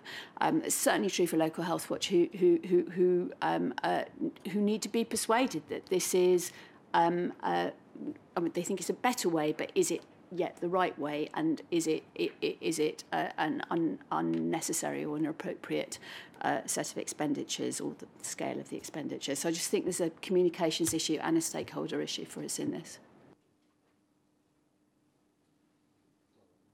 Um, seems to me, firstly, obviously it is a very good report and, and there's a huge amount in it that's um, very encouraging, in particular that um, this new method of inspection um, is so much better and we confirmed to be so much better than what preceded it. But the underlying concern here is clearly about sustainability. And what worries me, and I think we just need to address, is not actually to change what we we're doing before we worked out what bits of it work. The, the recommendation here is about using smaller and more expert teams, and I quite understand why that's being said. But that implies a, a, a, a sort of narrower focus, which again is understandable, but until we know how to undertake that focus, it would seem to me that would be a risky road to go down.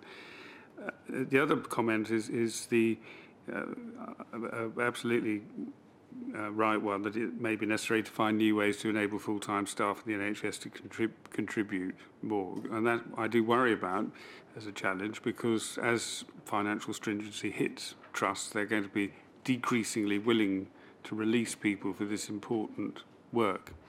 Uh, and when I looked at um, the idea of peer review in this and other contexts, it, it did seem to me that uh, there is considerable scope for the use of this sort of activity as part of professional development, as part of overall training and so on, and, to, to come out of or that sort of budget, and I can't be more precise than that because I'm not, not in, in the field, but um, I, I would like to think that some work is, is going on between this organisation and the rest of the system to work out how this work, which is very valuable for the individuals and the services from which they come, as well as it is for the public, can be sustained.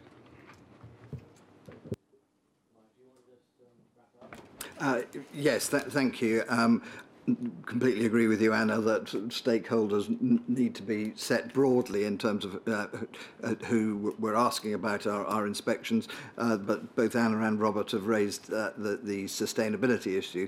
I think it is uh, worth remembering that the total cost to the NHS of the sector that I uh, inspect is 67 billion pounds Um, I think if we look back at the report um, earlier that we looked at what was there for hospitals, I know I also have strong support from strategy and intelligence, but um, is 26 million. So 26 million versus 67 billion. We know we're not spending a huge amount uh, on on this uh, um, endeavour in comparison with the size of the sector that we are um, inspecting.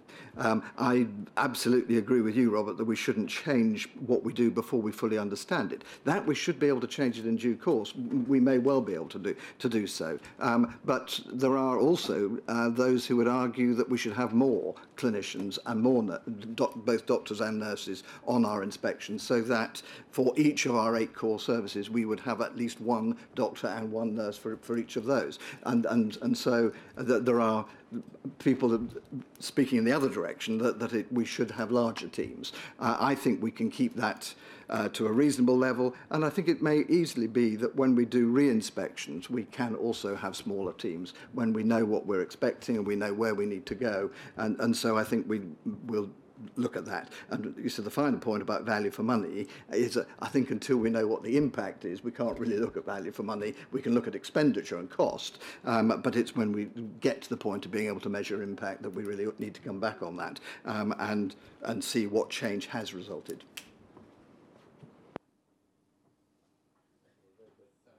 Paul and Eileen very quickly. Um, let me just add, there's a, there's a link point in the I think the best communication we can have locally as well as nationally is by demonstrating the improvement to services. There's a strong link back to the evaluation point, and that's why we'll bring that back to the board. But the other point is, when we're challenged on the 30 or so inspectors or people that come on site for three or four days, uh, I, one of the things we are doing is reminding people that a hospital isn't isn't an, an amorphous entity. It is eight. We look at eight core services, and of course there are multiple other services. It really does break down to having teams of about three or sometimes four people looking at the entirety of a paediatric service, or the entirety of the medical pathway, or the entirety of outpatients. And I think it's that comparison that we can also draw out more clearly. So maybe a lot of uh, bodies in aggregate, but these are also enormous enormous, up to billion pound organisations in their own right. I think all I'm suggesting is we need to put that, those communications together, not that, not that there's something wrong with what we're doing. Eileen? Yes, just being very brief, I think it is important to note, and I think Mike would agree with me, that um, actually in terms of sustainability and in terms of the support that we've had from trusts in terms of releasing people, to come and work on inspections, it has actually been very, very positive. If we look at the pipeline of people who are volunteering to take part in inspections in Mike's area, it's very encouraging. And I think the recognition is that actually being involved with the work of CQC, as we talked about earlier, uh, does bring a benefit back into those trusts. So by and large, I think we should applaud the support that trusts are giving in terms of the release that they are making of people who are vital to us. Good. Well, um, Mike, I think would you convey back to Kieran Walsh um, that we were, thought it was an excellent report, very helpful, and I think your response and all, all our, your response to it has been, you know, just got the most out of it. So thank you for that. Um, the rest of the agenda are really for noting, I think. But um, did anyone who's tabled one of the papers, um, Paul, Paul or Anna, want to add anything, or can we just assume they've been read and noted? Good. Any any other business from the board? Any questions from the floor? Yeah. Um, I apologise to board members for coming back to the question of cameras. Uh, uh, and I'd, I'd really rather say not cameras, but surveillance, because I came across an extremely interesting case uh, at the weekend of somebody who'd um, uh, discovered some very, very bad care in a residential care home simply by putting a dictaphone behind a chest of drawers. Uh, and although obviously a dictaphone wouldn't have picked up on the slappings and old deanery and that kind of thing, it's a great deal better from the point of view that Robert was raising about privacy. Um, so I would rather hope that uh, that uh, dictaphone audio only could also be remembered in any future sort of things about cameras. I, as you perhaps know, are, are very much in favor of overt cameras uh, because they're preventative, because they record good care as well as bad. But they are extremely expensive, and I think there is a link that one of the ways to get overt cameras in place is covert cameras beforehand, and this is what has really happened with HC-One. They wouldn't really be thinking about having overt cameras now if they hadn't been, uh, open house hadn't been picked up uh, on Panorama. Um, so I'm uh, very much in favor of what Louis was saying about um, helping the CQC, helping people, because frankly it's quite difficult and expensive and so on to put in an overt camera.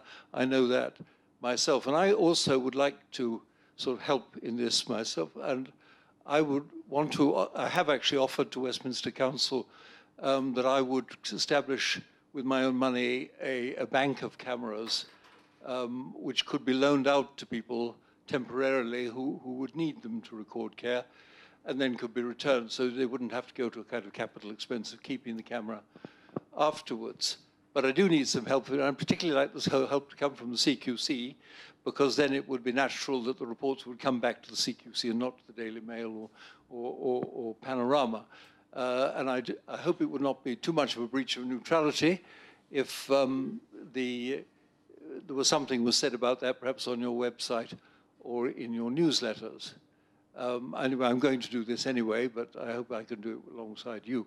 The other thing is I went to a care home recently, a, a very new one, and I was delighted to find that they already had overt surveillance in their um, uh, communal areas. But they said that they'd been told by the CQC at, when they were being registered, they haven't been inspected yet, that they could not use it for management purposes, which they interpreted to mean that they couldn't actually sit and watch what was going on, which they, I think, felt was a bit of a waste of their £50,000 that they spent on putting this in. And I'd like to know whether that really was a misinterpretation by the inspectors of CQC policy, or whether the perhaps the care home got the wrong end of the stick and didn't understand what was meant by management purposes. Thank you very much. David, I think we agreed as a board that we would be we, we would be considering this again in more detail after the summer. Um, but on your specific question, your last question. Um, um, I'll just say, I mean, I don't know the specific example, and, and maybe we, we could share that because I've certainly had experience recently of uh, a provider raising a concern with me that they'd been they had interpreted what they'd been told as us saying you've got to take the cameras down, and actually what had been said was you haven't actually taken um, uh, due consideration of the interests of the uh, of the residents and hadn't consulted properly, and we would expect you to do that um, be, before you use them. So so there was there, uh, uh, uh, there was misinterpretation. So maybe we could follow up on the specifics, but. Um, um, you know, if people are following the guidance which Rebecca referred to earlier um, uh, about the use of, uh, of cameras, then um, I, I don't, you know, I don't think we have any place to be telling people that they shouldn't use it. Um, and and just uh, to reflect on your first point, I'd certainly be thinking about the broader, because um, uh, there are a variety of tech technologies that can assist, um, not just cameras. Um, so I think you're right to, to raise the audio, but there are there are some other there's there's one with sensors and all sorts of things. So um, there's there's other things that we can look at too, certainly.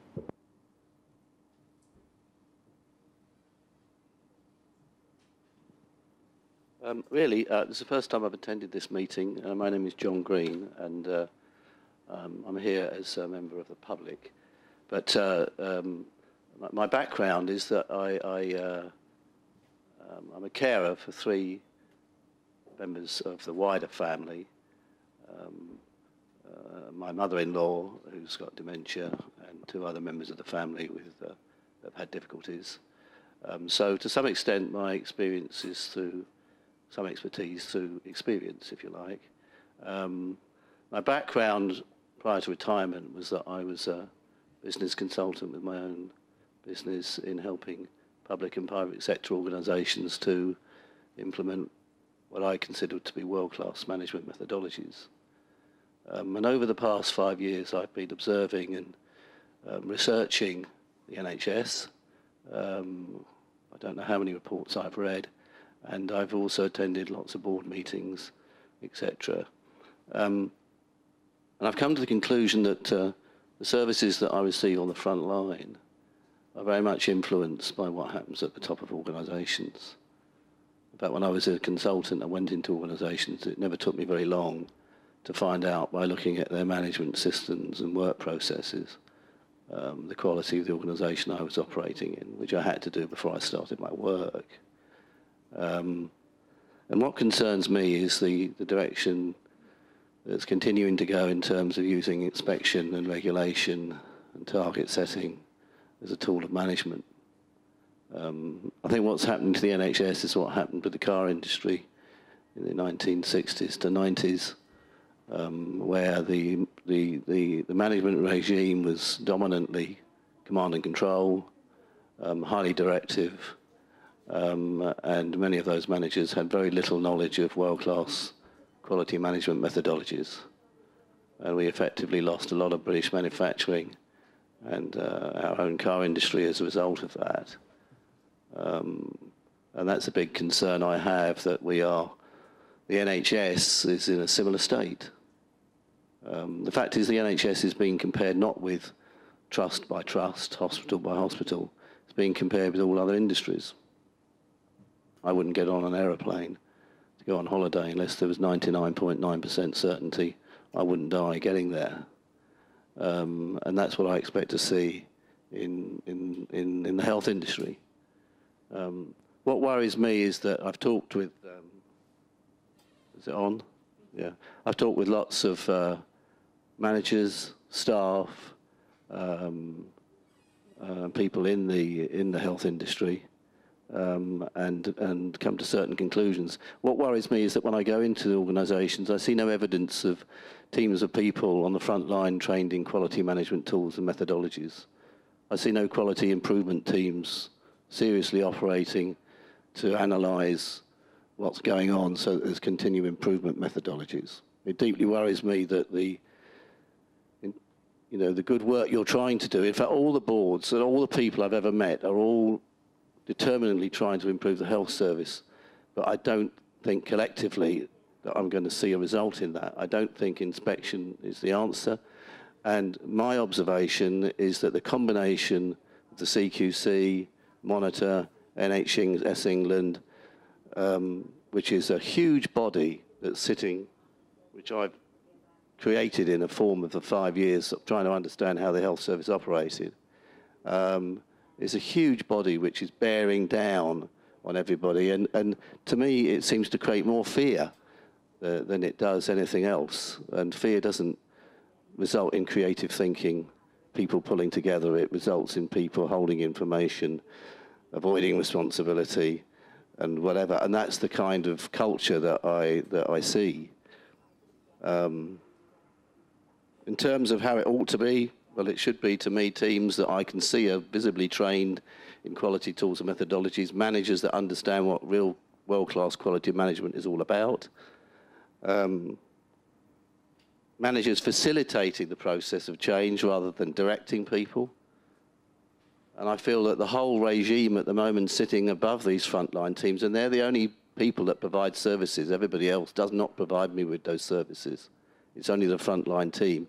And so I look up and think, to what extent are these other organisations adding value to these teams? And I don't see much value being added.